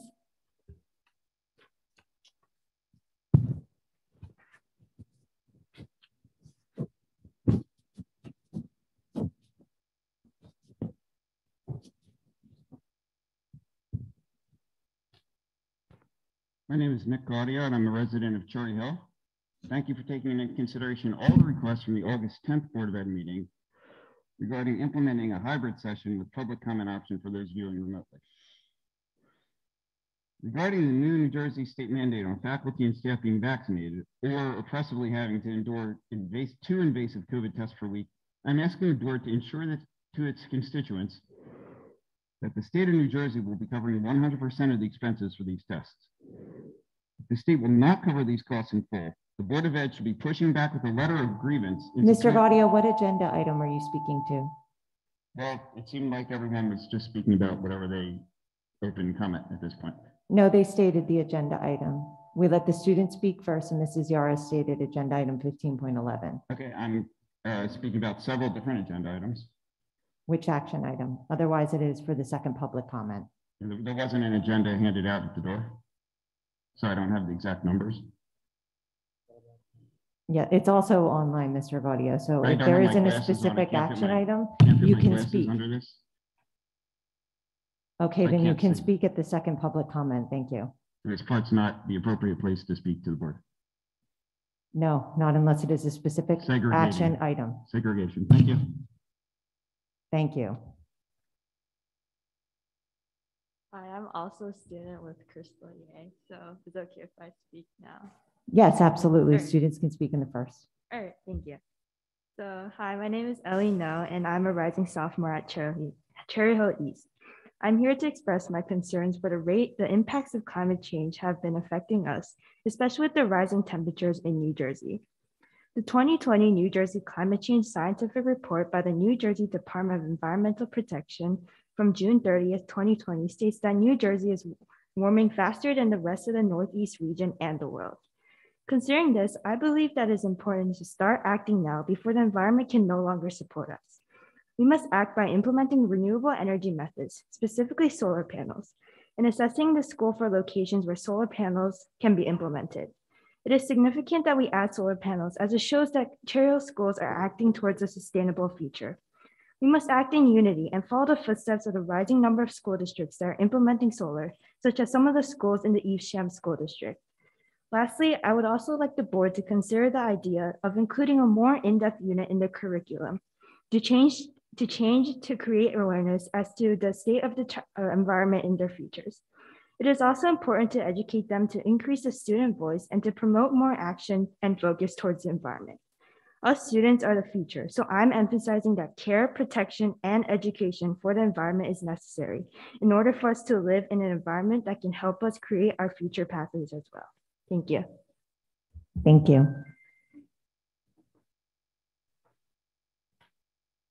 Yes, the audience, sorry. Jessica Mazer, Cherry Hill. Um, I want to talk about the comments and the fight against the African American Studies course by some members of our community. Um, it's disgusting at best. They want to this- gloss. I'm sorry, Ms. May, this is for item fifteen point eleven? Yes, yes, I'm sorry. Um, they want to gloss over to the reality of the history of people of color, not only in this country, but right here in Cherry Hill, and dismiss the responsibility the rest of us have to validate those very real experiences. It's uncomfortable to learn that one's success is often tied to the family you were born into, your socioeconomic status, and even the zip code instead of hard work and intellect. When you are accustomed to privilege, equality feels like oppression. But when you know better, you can make the choice to do better. Our students asked for this. The status quo of turning a blind eye is no longer acceptable to them and shouldn't be to us. I'm incredibly, incredibly proud that Cherry Hill is embracing this responsibility and facing the challenge head on. Thank you. Thank you, Mrs. Mazer. Okay. There are no other public comments. I'll hand it over to the. Good evening. Rick Short, 1002 Chilton Parkway, United States of America. Uh, Two things to reference on the uh, solar stuff. Um, Just so the Which young, agenda items are you speaking to, Mr. Short? the Which last one, items? the last one that, uh, Fifteen point eleven? yes. That's not an action item. So Okay. Then I'll, I'll move ahead on the, uh, to the other comment about the, what, what was it, the AAA? Is that correct? Okay. Fi- my final comment's gonna be a lot better than this, but I sit here and this entire town is against each other. It is nuts. It is crazy. My own neighbors, we can agree on everything. Everything we can agree on, mostly, sanably. But when we start talking about racism, it just gaslights everything. This is becoming disgusting the way everything is. And my neighbor is so close, and we're so Ugh, it's sad. But But my last public comment will go directly to Dr. Meloche. We are tired. We need answers.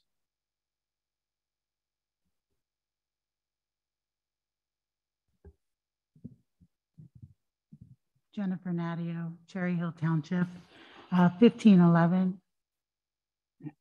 I have really paid attention to all of this that we're doing with the African American Studies class, and I think it's a really good idea.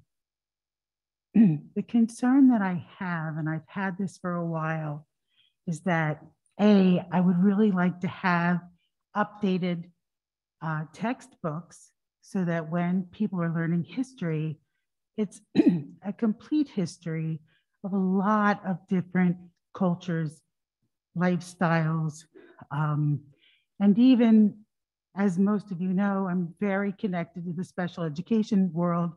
That too should be included. Um, family and friends of mine have told me that they've opened up history books or books in high school and their parents' names are in those books their neighbors' names are in those books. I think we need to get up to date. And I think that the African American Studies is a really great start. I'm thrilled to death that we are having um, ICR classes. With that, I think that's so inclusive and so wonderful. I just would also like the history books themselves to be updated. Um, and I would also like to have a little more about people with neurodivergence um, and differences within their learning as well. So I just wanted to bring that up, but I did want to say that I, I think this is a great idea and I really enjoyed um, all of the presentations on uh, the AA class. Thank you. Thank you, Ms. Nadia. And we have one caller on the line, Eliza Babcock. Can you hear me? Yes, we can hear you. Okay, thank you. Eliza Babcock of Cherry Hill. Um, thank you. And um, this is in regards to 15.11. Um, I wanted to take a moment to praise the district for adding the African American Studies curriculum. While it's only one step in the right direction, the student-led effort backed by this administration is a brilliant addition to our curriculum and moves us toward a well-rounded civics experience for young, curious minds. I myself am a graduate of Cherry Hill West, class of 2000. I have to tell you that the, um, the social equity initiatives and the additional curriculum I see now stand unfortunately in stark contrast to the total lack thereof in previous years. It's badly needed and it's and the one history class should be treated simply as a starting point. Our multicultural student body should feel represented in their learning experience. There's a lot of resistance, misinformation, and fear surrounding DEI, critical race theory, and a broadened curriculum. I would urge the Board to, of Education to continue to set precedent and press forward, if for no other reason than our students are demanding it. Listen to the group of brave high school students who pushed and pushed for this. They are the change makers and the people that you are most accountable to. Thank you. Thank you, Ms. Babcock. And now to the audience. Uh, Debbie Samuels, Cherry Hill. With regards to the African American, Negro, Black, the history class, I didn't have that when I was here in Cherry Hill. But fortunate for me, I'm a descendant of a Guinea slave, who Guinea prince, who was kidnapped in Africa and brought to the United States. My family has been here since the 1800s. And we have our history tracked to 1650, this Guinea prince who was brought over. I never knew I was taught, we learned about slavery. And then, of course, when we came along, we learned about the civil rights. But there is so much history, not only in America, but African American history in this township.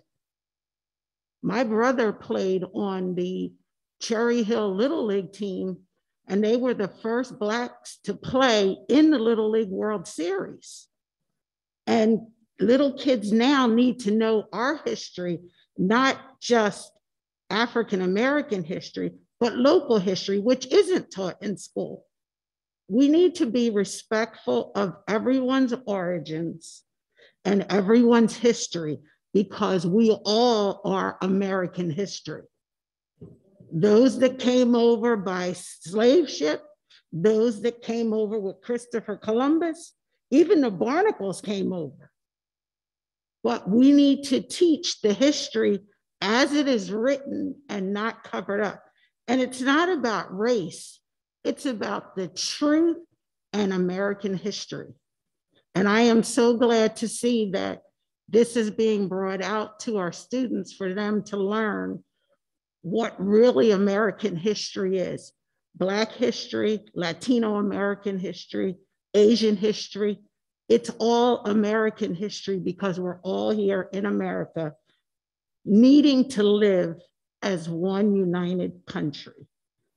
And until we start teaching our kids, if you don't know where you came from, you won't know where you're going. Thank you. Okay, next we have on the line Greg Becker. And please uh, note what agenda item you're speaking to. Hi, I'm sorry. This is Beth Becker. I'm on vacation and it came up with my husband's name. Um, Beth Becker, Cherry Hill, uh, item 15.11. Um, about the African American Studies course. First of all, I'm just again want to say how proud I am, am of Cherry Hill for implementing this student led action. Um, also, that the African American Studies course is the first step in creating a district that sees and embraces all of our children. Um, this work will not only prepare our children to be uh, better humans, but better citizens and show them the value in themselves and each other. Um, I know there's a lot of fear in the community, but as a large district, um, this course is not only going to educate our students, but it's going to educate the community. And um, it's obvious that our community sorely needs education. I um, echo the sentiments of the woman who spoke before me. Um, the story of that 1955 Cherry Hill Little League team uh, and what they encountered when they went to play in the southern states is is fascinating. Um, we have an underground railroad uh, station right here in Cherry Hill that most people don't even know about. Um, this history is local. Um, it is uh, not only local, it's national, it's universal. Um, and I just wanted to again commend the district for taking this step and for leading um, leading our community uh, and educating our community. Thank you. Thank you, Mrs. Becker. And now to the audience. And please state your agenda item.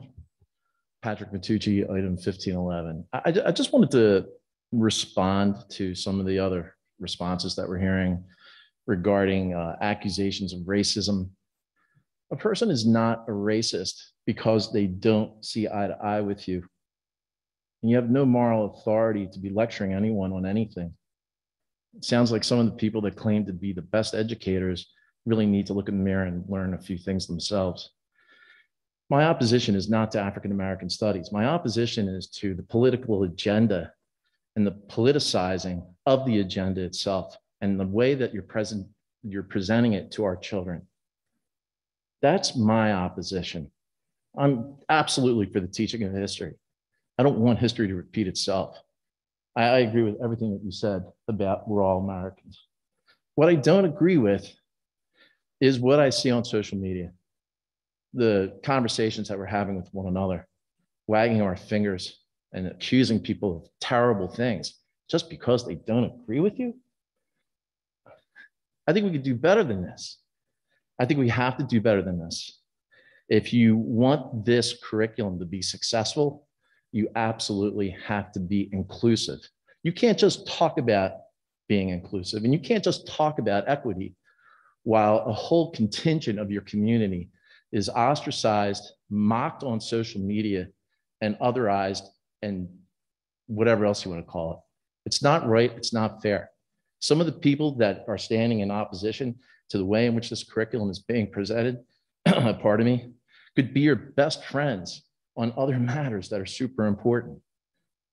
Think about who you're talking to. Think about the way you're talking to people. Show a little bit more respect. You get a lot more flies with honey than you do with vinegar. Thank you. Thank you. Okay, that brings us to the end of the first public comment. I will now hand it over to Dr. Meloche for superintendent comments. Thank you, Mrs. Neary. Uh, I do just have a, a couple of brief comments, uh, especially given the time with where we are. First, I want to thank the students for being here tonight and giving us, us the updates about what's going on at High School East and High School West. Always a highlight for us. Um, I also want to thank the members of the ROTC who were here with us this evening as we moved the board uh, meeting over to this building to help with people that were coming in, to distribute masks if folks forgot them, uh, and to welcome members of the community. Um, so for Mr. Boucher and for the ROTC folks that were here, thank you to them. Uh, thank you to Dr. Damon, who's the principal here at High School West. Some of you not, have not had a chance yet to meet Dr. Damon, uh, but again, she was able to shift some things to be able to welcome the board uh, and the rest of us to be here this evening uh, and to the facilities crew here at High School West as they prepare for the opening of school. Uh, it's busy times in all of our buildings, as the students talked about with what was going on at High School East and High School West. We've had new student orientations. In fact, tomorrow we have the opportunity to welcome all of our new staff members to the district. We'll be here in this room. Uh, and again, none of that is, is going to happen as we get ready to open schools without the work that our facilities, um, grounds, maintenance crews, custodial crews, our cleaners, uh, the men and women in this district who dedicate themselves, take pride in their job, and day in, day out, night in and night out, make sure that our buildings are ready to open. I had the great opportunity to speak with all of them last week as they were here uh, for some training one afternoon and just had the opportunity to thank them on behalf of our 11,000 students uh, and the, the rest of the 1,700 employees that we have in the district. Because again, if they don't do their jobs, we can't open schools. Uh, and these men and women have done an incredible job during the course of the last 19 months. So I ask everybody, whether you're here in the audience tonight uh, or you're watching online or watching a recording of this, next time you're in one of our buildings, thank the custodians, thank the cleaners, thank the maintenance folks uh, who are out there because uh, they're the ones that allow us to open our buildings. As we mentioned a number of times, 16 more days until school opens. September 9th, full days of school. The caveat, again, that Dr. Mahan went over, that is an early dismissal day. It's a one o'clock day for our elementary schools. That's always a one o'clock day. So please make sure you know what time your children need to arrive at school and what time school is over for them. Uh, we are incredibly excited about being back on a full um, full-time schedule and a regular schedule. Um, excited with the work that we've been able to do with Mr. Bridges. Ted Bridges is our manager through Aramark. He's been with us for about 14 months now. Um, our Aramark team, during the time that we uh, have been dealing with the pandemic, we've distributed more than a million meals uh, to children in our community. Uh, it's an absolutely incredible uh, job that they have done to prepare the meals, to update the count, uh, to update the menus, to change the foods that are going out. Uh, we're looking to continue to build upon that as school opens. So again, if you have questions about meals or what's going on, please make sure that you contact um, the building. Uh, there's uh, spaces online to be able to find out what meals are going to be served. Um, we talked before just about uh, Executive Order 253, which does require all of our staff members to be vaccinated or to be tested. Uh, and that is, is uh, effective or goes into effect now. Uh, and it's uh, will start to be implemented effective October the 18th. Uh, information is going out to our staff members. Um, we did a, a, straw poll survey of staff during the course of the summer. We had almost a thousand people respond to the survey. Um, of that thousand or so people, 95% of them indicated they would be fully vaccinated or are fully vaccinated would be fully vaccinated uh, by September the 9th. I'm sure once we get through all 1,700 of them, um, we may not be that high right now, uh, but our staff has done a great job led by the folks uh, with Miss Adrian and the um, Human Resources uh, Office back last year, uh, helped to support our staff to get the vaccinations, um, to get them done. We've run additional vaccination clinics during the course of the summer. um, so that students who wanted to be vaccinated from 12 and above could do that. Uh, also, some family members were vaccinated. We run uh, vaccination clinics with our Rite Aid pharmacies through our schools. We'll be continuing to do that. Uh, Mark Adler from Adler's Pharmacy ran the, the clinics during the course of the summer forest, for which we are very appreciative. Um, I can't tell you how excited I am and to have all of our staff members and all of our students back in our schools. Um, it's going to be a transition time for everyone. It's going to be different. What it feels like in September of 2021 for sure is not going to be what it felt like in 2020 or 2019 or 2018. Uh, our staff members, our building administrators, our teams of people are ready and are going to be here to support the kids. It's going to take some time for everybody to get used to being back in school and for what six and a half hours during the course of the day looks like and feels like. Kids are going to be tired at the beginning of the year. Please, at home, start practicing with your kids wearing their masks. Uh, if they are not wearing their masks regularly, start to practice. You know, kids need to build up that endurance. It does take time to get used to it again. We continued to see during our ESY and our summer programs, our students had their masks on. That has not changed for us. Our students um, do a nice job with it. They ask questions, they talk about it, they know, understand and know what the role is. Fall sports have all started, fall activities are beginning. Um, one of the highlights that I saw as I talked to Mr. Barrow, who's our director of athletics, has been the number of freshmen that are out for sports this year. Um, and as he had talked, as he has talked to the freshman kids, one of the things they talked about was the reintroduction of the B teams at the middle level, which we did a couple of years ago. And that has dramatically bolstered the number of kids that are continuing to play sports as they move into the high schools. I encourage everyone in the community to come out and to see our kids compete once the fall seasons begin at the middle schools and at the high schools. Come see our marching bands as they play and as they compete. Uh, pay attention to what's going on within the district. Follow along on our social media. And I implore people, if you have questions about what's going on in the district, contact the district. Please do not rely on social media. Please do not rely on Facebook as the sole source of information about what's going on in the district. If you want to know what's being taught in a class or you want to have a discussion about what's being taught in a class, especially a new class, which has not yet been taught in the district and that nobody has seen, ask us. We'd be happy to sit down with folks. Dr. Mahan, Dr. Morton, myself, Mrs. Wethington, other people that are involved. You want to talk about what's going to be included in the African American Studies class? Ask us. We are really excited to talk about it. I can't be more proud of the work that our teachers and our students and members of our community have done to prepare this class and to set the foundation to do this work.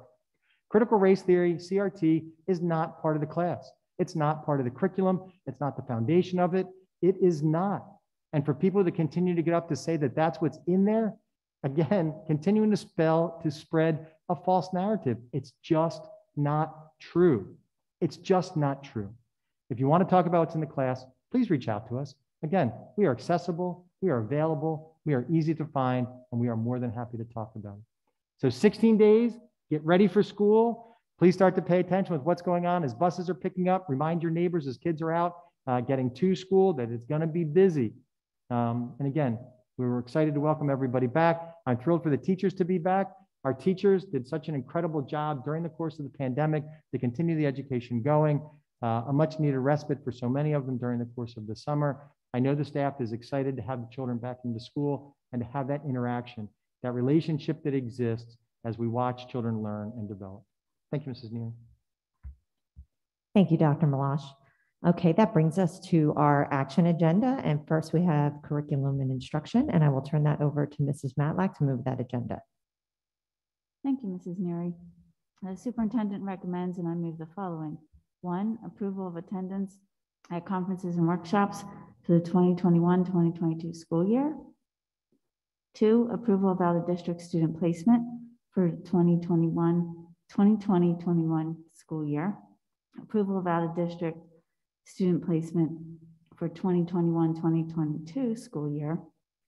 Approval of service number four, approval of out of service contract for the New Jersey Commission for the Blind and Visually Impaired for 2021 2022. Five, approval of service agreement for the 2021 2022 school year. Uh, GC, SS, SD, Sorry with the lights, it's hard to see. Six, approval of agreement for the 2021-2022 school year for Voorhees Pediatric. Seven, resolution approving a professional services agreement between Cherry Hill Board and Cooper Health to provide reading multisensory remediation services at Pollitt's Days Day School. Eight, hmm. Number eight, approval of professional development proposal. Nine, approval of the fiscal impact of the professional development plan. 10, resolution for membership in a consortium for mental health and optimal development. 11, approval of readopting curriculum. And 12, approval of memorandum of understanding for 2021, 2022 school year. Do I have a second? Mrs. Stern. Any questions? Seeing none, Mrs. Shugars? Okay, board members, the online voting is open.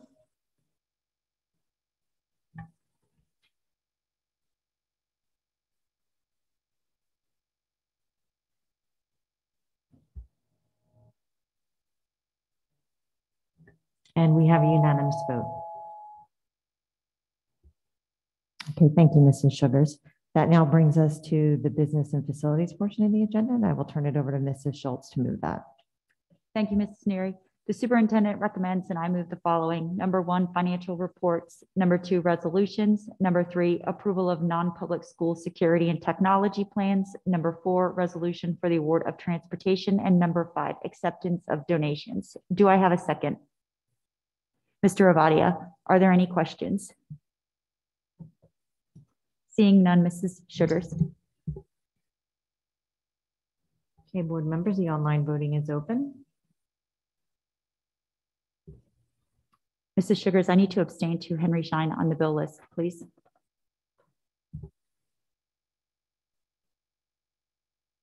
Other than the exception noted, we have a unanimous vote. Okay, thank you, Mrs. Shugars. I will turn it back to Mrs. Schultz to move the human resources agenda. Thank you, Mrs. Neary.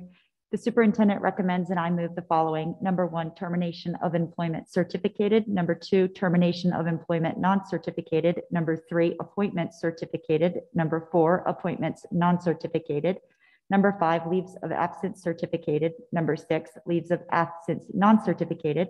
Number seven, a sal- assignment salary change certificated. Number eight, assignment salary change non-certificated. Number nine, other compensation certificated. Number 10, first reading of policies. Number 11, approval of a new job description, revision and job title. Number 12, approval of a new job description revision.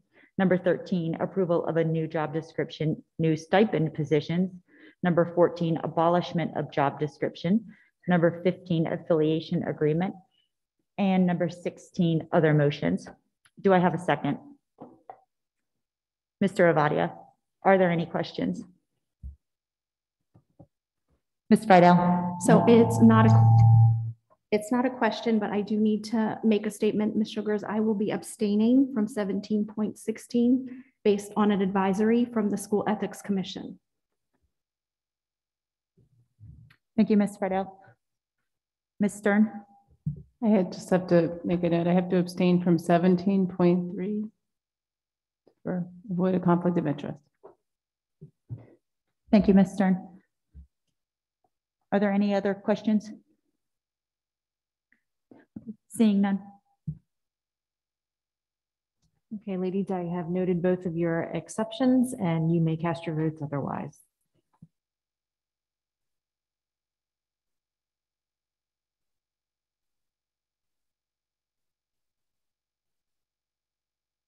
Other than the exceptions noted, we have a unanimous vote. Thank you, Mrs. Shugars. That brings us to policy and legislation, and I will turn it over to Ms. Friedel to move that agenda.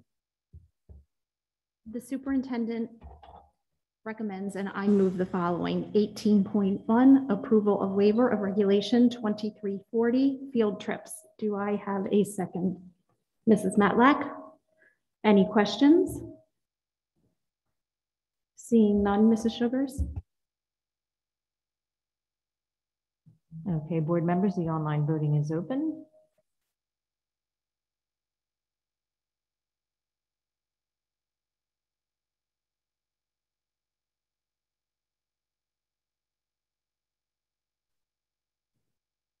And we have a unanimous vote. Thank you, Mrs. Shugars. We don't have any items for strategic planning this evening, so that brings us to new business. Does anyone have any new business this evening? Okay, that'll take us to old business. Did anyone have any items under old business this evening? Okay, that will now bring us to the second public comment.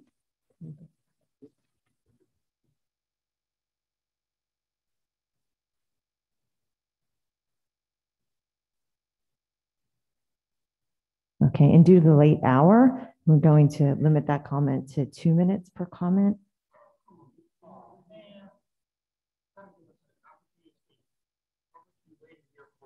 Okay, and the first public comment. Is anybody coming to the mic from the audience?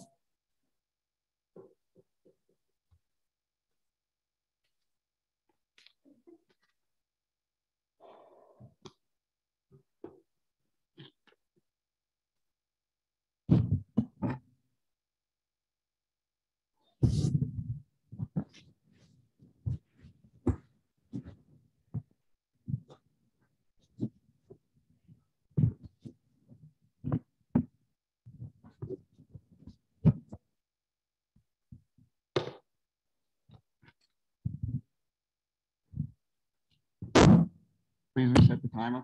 I'm ready to speak.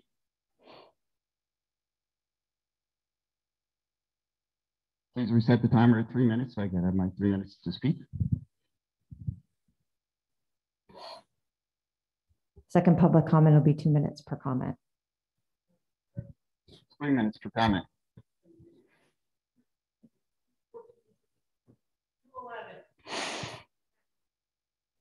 Can you please reset it to three minutes? I have three minutes to speak.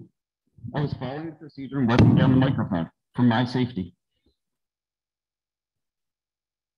Sir, please start your comment or move on. Unless I'll start my someone- comment when the, the timer is reset to three minutes. on. Start your comment or move on. To be to speak, I need to take this off. Thank you. I'm 30 feet from everybody else in here. Let's be I'd like to logical. make a- My uh, name is Nick to Gaudio and I'm a resident of Cherry Hill. Thank you for Thank you. We'll take recess.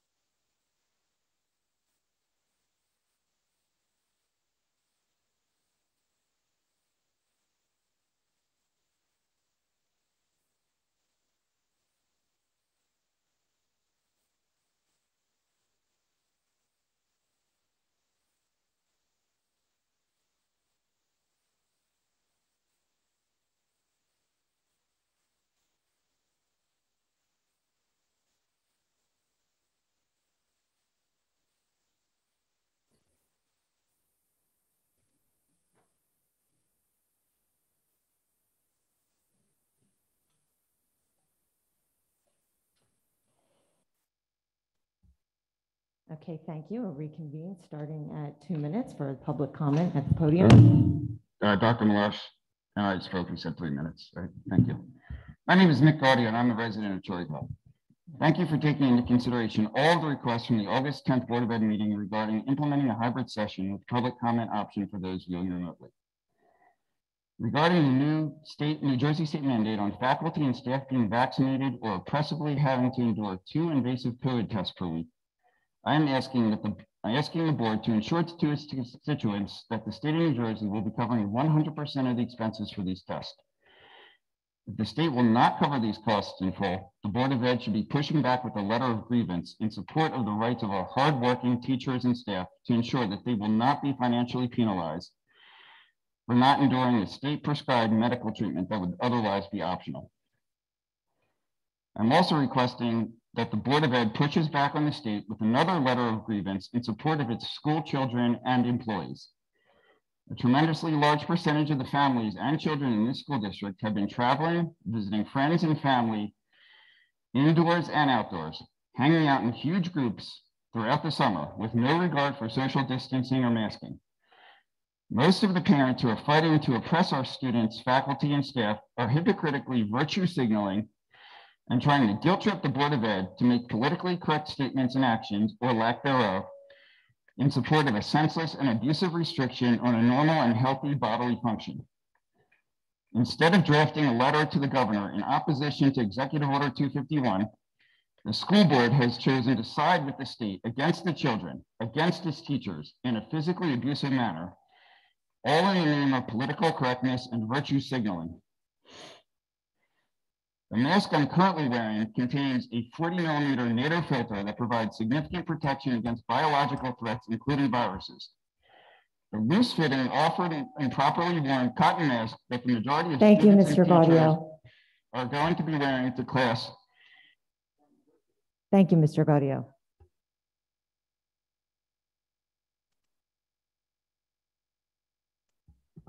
Dr. Meloche did not agree to that at all.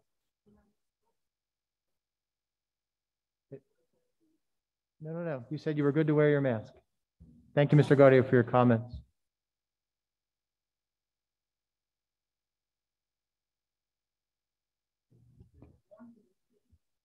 Next, we'll go to the comment online from Steffi Graf. Hi, Stephanie, um, Cherry Hill, New Jersey, Stephanie Graff, Cherry Hill, New Jersey. Um, I just wanted to thank the board um, for your time and service. I know it's a thankless job with a significant time commitment, so thank you. Um, second thing is um, I do appreciate um, those of you that stated your reason for abstaining from any vote. So um, if you can just consider that, I think that's really helpful for the public that you state the reason for abstaining if you're abstaining from any vote. Thirdly, I am extremely disappointed that once again Sally Tong is not at a meeting. Um, I think this is the second one this month, and she's frequently absent. Um, it's a large cause of concern for me when she is running again for the Board of Ed, um, and she doesn't manage to show up to half the meetings.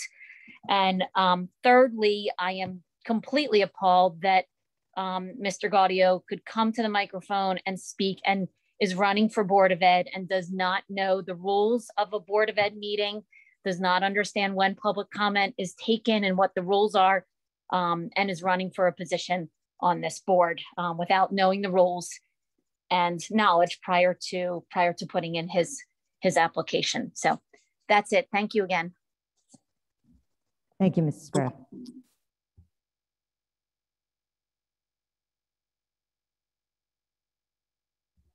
Do we have another comment from the audience?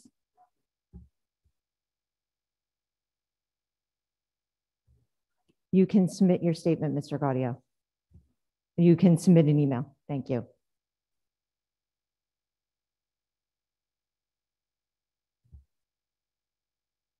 Uh, Ivana Cooper, Cherry Hill.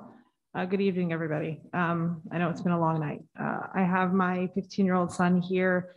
Uh, my comment is uh, different in comparison to this evening's uh, agenda. I came out here as a concerned parent, worried about my kid. and I know that a lot of parents are here with largely vast uh, issues that are individual or I'm just focused on mine at the moment. Um, I am a mom that homeschooled my kids for eight years, enrolled my son in Beck uh, 2019, 2020 school year.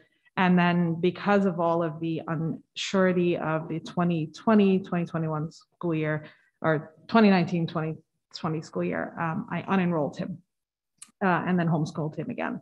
I enrolled him again at the end of last year um, for this upcoming school year and was today sent an email by East telling me that he would not be enrolled in 10th grade um, because he was homeschooled for the ninth grade year. So my issue is a little different. And I know that I can't get an immediate answer, but I came up here and, and brought him with me tonight. He's falling asleep sitting over there um, because I'm just looking to have my face known. Um, I sent a ton of emails today. Um, I apologize to Dr. Morton and um, those who got like 17 emails from me today. Um, I'm just a concerned parent trying to make sure that my son gets into school. Um, I had a long conversation today with Allison um, at West, the assistant principal. I'm so grateful to her. She was really the most helpful person I've spoken to so far.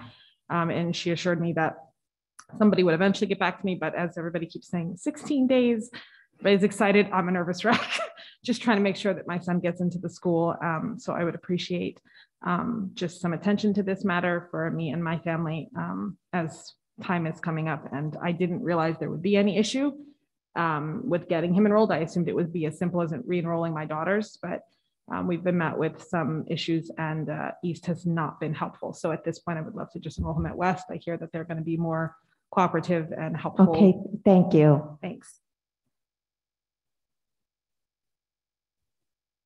Okay, that brings us to, I believe it's the number with 856. I believe that's Dr. Potterwood. Can I still speak? Thank you. Yeah, Somebody's online. Can you hear me? Can you hear me? Yes, we can hear you. Okay. Um, Jeff Potowitz, uh, Cherry Hill, New Jersey. I'm reading from an article.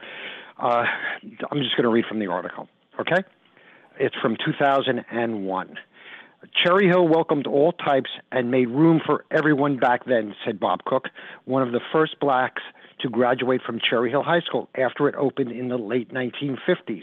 Mr. Cook, a long term Burlington County administrator who returned to Cherry Hill after college, said there was always a great deal of cooperation here. Okay. Uh, he was a member of the Little League team that reached the finals of the Little League World Series in 1955 and 1956, a feat accomplished only three other times. Mr. Cook was one of three black players on the team, which meant it was integrated before the local major league team, the Philadelphia Phillies, which did not have a black player on its roster until 1957. He remembered going to Front Royal, Virginia for the 1955 regional finals as a signal moment in his education. When the team went downtown to a movie, the three black players were sent to the colored section in the balcony, while their white teammates were seated downstairs. It was not what we ever had experienced at home, said Mr. Cook who noted that the experience spurred the three black players to enter the civil rights movement as teenagers. And we never experienced it later either. Cherry Hill schools were long a melting pot, and I think a good place for a black, a young black man, or anyone for that matter, to grow up. The article is entitled "The Dilemma of, Discre- of Desegregation." New York Times, by Robert Strauss, March 11, 2001. That's called, it's the dilemma of desegregation. If you Google it, you'll find it. And I think you heard a little bit of that story, at least I heard it, uh, earlier in the day. And that's it right now. Okay, thank you. Thank you, Dr. Podowitz. Okay, next we'll go to the audience. Hi, thank you. Uh, good evening. My name is Adam Greenbaum. I'm from Cherry Hill, and I have a six-year-old starting first grade in a few weeks. Uh, it's my first time attending a board meeting in person, and it's it's certainly been interesting. Uh, usually, I, I, listen to the live stream, which I, I, find very informative. So, thank you for that transparency. Uh, I also hear the comments every week, though, and uh, it's I mean tonight was really no different. Uh, I I mostly came here tonight to say thank you for your hard work. Uh, everything you do is really appreciated, even if I don't agree with every decision. You guys kept the schools open, you kept the kids safe. I, I, can't thank you enough for that. Uh, I'm also optimistic about the increased focus on diversity, equity, and inclusion, especially the African American uh, Studies class. Uh, when I studied history uh, 30 plus years ago, the version I learned had a lot of gaps in it. Uh, there were a lot of significant events that were brushed over or whitewashed, and a lot of those things I had to learn on my own when I grew up. Um, I'm very excited for my son to have an opportunity to learn a more complete and a more accurate version of history, as well as uh, gain an understanding of how past events still impact people today. Uh, I thank you for your work on that, and I really hope materials will be made available to parents like me who want to learn alongside with their children. I also wanted to speak briefly about the mask mandate. You know, I hear the comments here. I see the discussions online, whether it's people coordinating to send their kids maskless to see what happens, shopping around for a doctor that's going to write them a medical exemption, or showing up to board meetings maskless and causing disruptions. I don't think any of us wanted to be here an extra half hour for that tonight. But if you want to see what happens when you don't control community spread and you send your kids to school maskless anyway. Look what's happening in Florida, Georgia, Texas, all these other schools. Uh, hospitalizations are up, schools are closing. Uh, and that's not happening here because our vaccination rates are higher, especially here in Cherry Hill. Please do the right thing. Get your kids Thank different you. masks, teach them to do the right thing. Thank you. Thank you.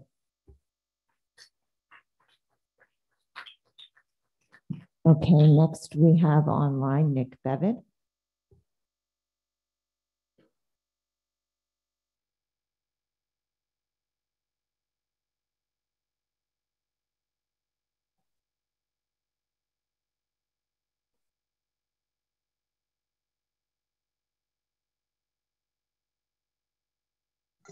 You're still Hi. muted. Oh, there we go.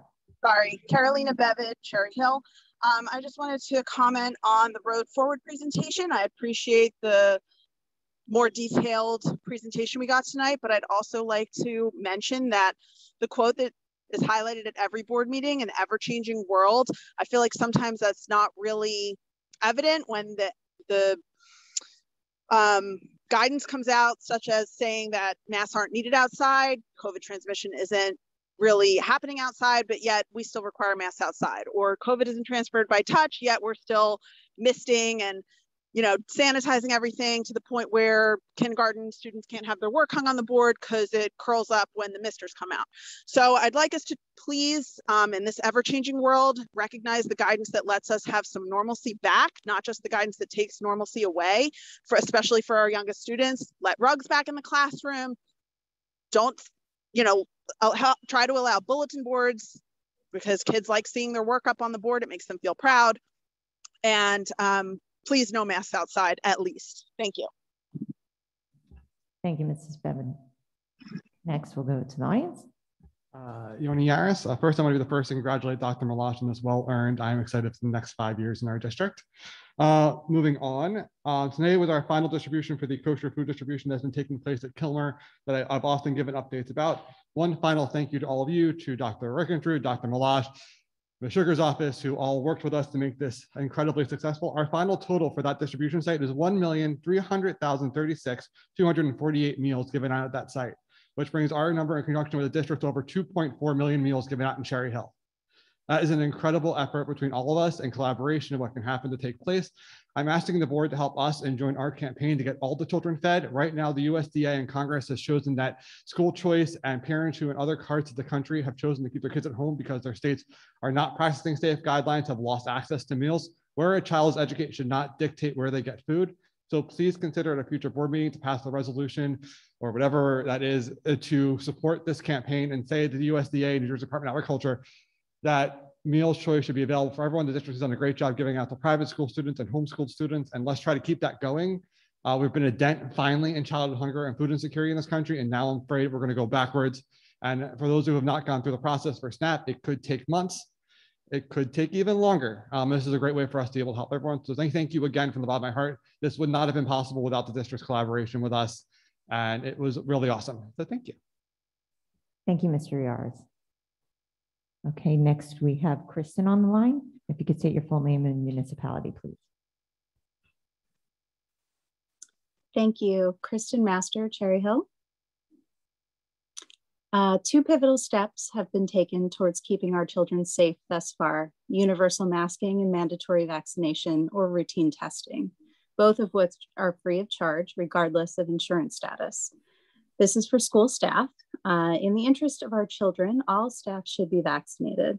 I know it's not 100% protection, but it is close. And as Dr. Meloche has said and repeated, we need to implement as many mitigation strategies against COVID 19 consistently and take a layered approach to provide the most benefit.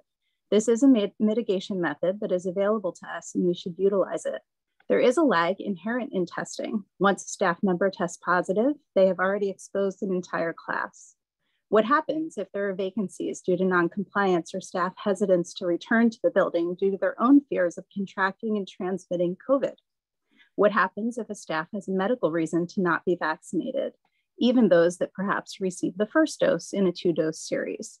Possibly these teachers are el eligible to be remote teachers. Will these regulations also be applied to a substitute pool? I value our teachers and school staff immensely. They performed miracles last year and rose to the unfortunate occasion we all found ourselves in together. I would be remiss if I did not once again mention the importance of providing virtual instruction. For those that need it, possibly medically fragile, under 12, unable to get vaccinated, for those that have an immune compromised parent, for those that fared better in a remote setting, for those families that have been living comfortably on the extreme end of caution.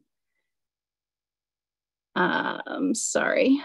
It would be traumatizing to our children to explain why they still cannot go inside their grandparents' house where everyone is vaccinated, but they can go into a school with hundreds of unvaccinated people. This does not infringe upon those wanting in-person instruction. You know it does, having Thank to you, close Kristen. schools two minutes is too short. Thank you very much. Thank you.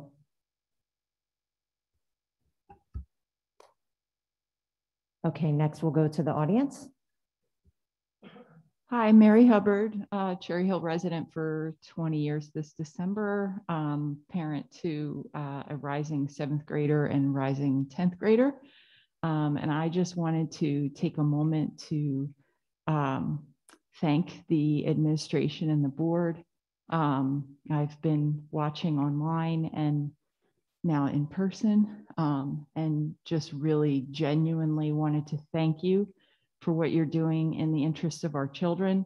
I know that you don't hear it enough, and I know that you're hearing the voices of some, but there are some of us out there who believe that you're doing a good job and really support you and thank you for being here for hours and dealing with what you're having to deal with. So thank you very much. Thank you. Okay, next we have on the line Aiden Rude.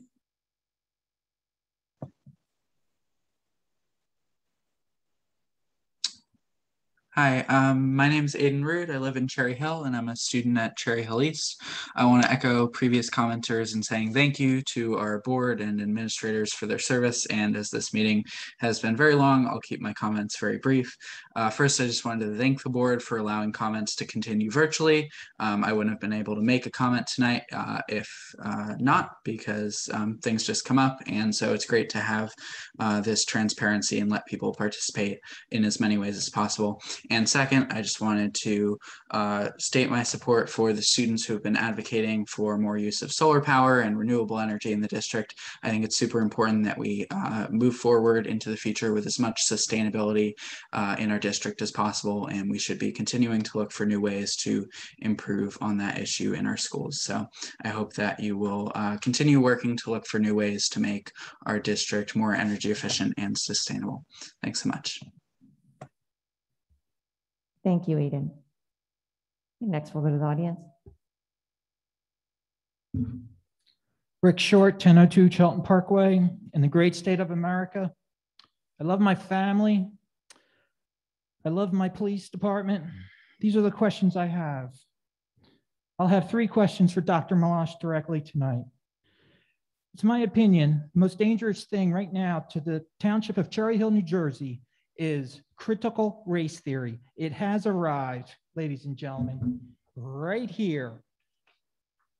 I ask the following questions for Dr. Meloche. Number one, is Dr. Gleason anti-capitalist? Is he anti-police? Is he also wealth distrib distribution? Second question, is Dr. Kinde also anti-capitalist, anti-police, anti and, and wealth dis distribution? is Dr. Kindy big on teaching the oppressed and the oppressor? And finally, your comment with Dr. Muhammad, who says this. To disrupt, to unhinge oppression for other people. That's what it means to build a better world for all. So I hope we realize.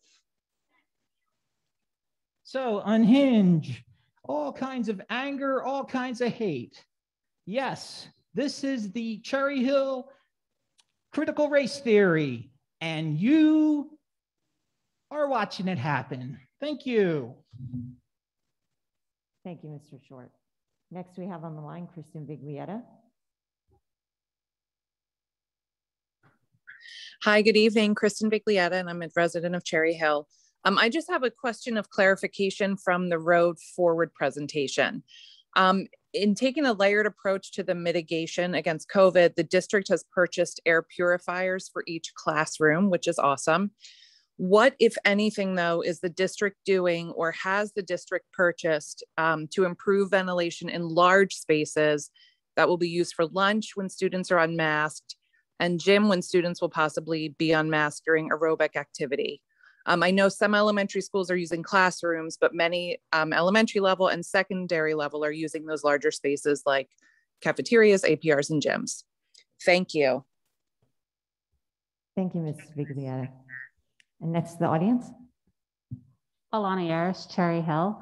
Um, you as board members serve in a thankless role, a volunteer role that I have for the past year and a half been serving in myself. You are criticized for every little thing. I know that I, as a member of the public, have also sometimes criticized you, but running the food distribution program that I've been running with volunteers for the past 18 months is a also thankless job. Students who are home on quarantine will not be able to get these meals. Students who have been receiving weekend meals this past year will not be able to get these meals.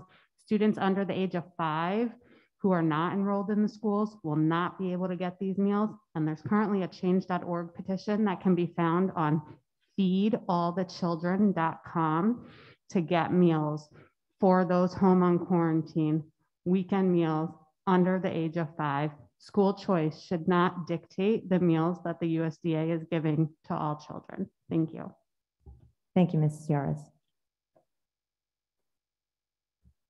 Okay, next we have on the line Christina Musso. Hi, hi, sorry, Christina Musso, Cherry Hill.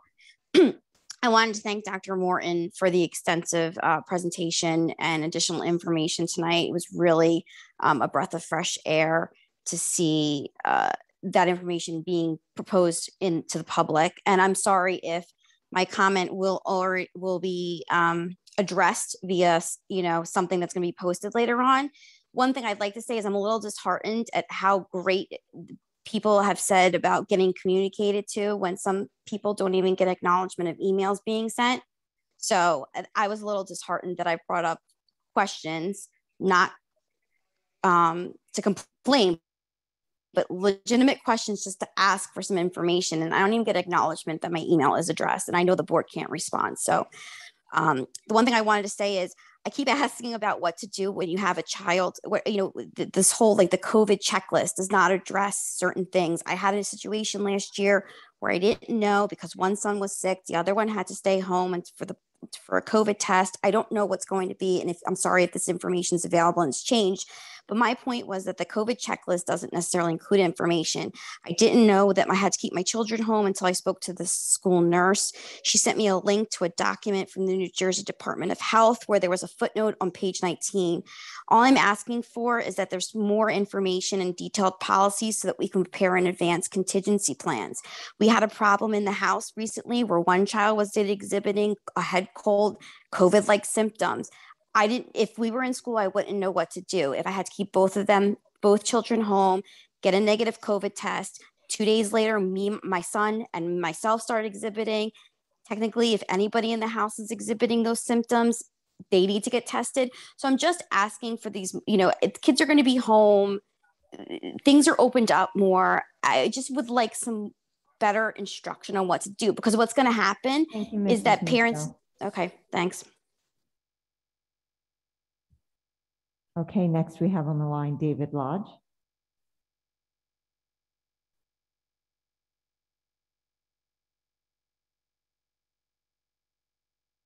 Hello, can you hear me now?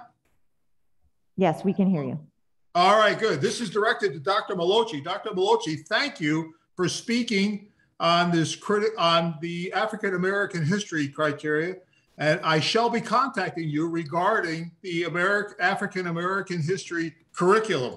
It's been evasive to this point. It's not on the website, and we really need to know what the curriculum is. And going forward, factual history curriculum factual history curriculum should embrace all ethnicities to include African American history.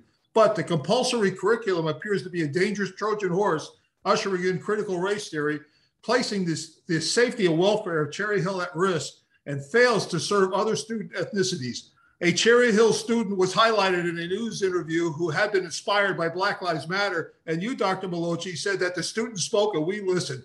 Antifa and Black Lives Matter engage in thuggery, vandalism, and hate filled rhetoric of our military and of peace officers. So there's little wonder that there's a sense of alarm in this community over such a curriculum. Inclusion of critical race theorists in this curriculum is ex- exploitation of malleable minds and contains dangerous involuntary biased indoctrination, which can only lead to the same violent crimes against anyone who does not support their ideology. This Board of Education is denying the rightful authority of the parents of this community to prevent this. Dr. Kendi references as a crime against decency anyone who feels that all lives and labels them uh, that rather all lives matter and labels them as white racists. And he provides other divisive and racist ideologies steeped in shame and guilt contingent on skin color. In video on the abolitionist website, Dr. Gholdy Muhammad advocates violence from students when she says, We want them to agitate, to disrupt, to unhinge, oppression for other people, advocating raising our children to be violent advocates, our anarchists.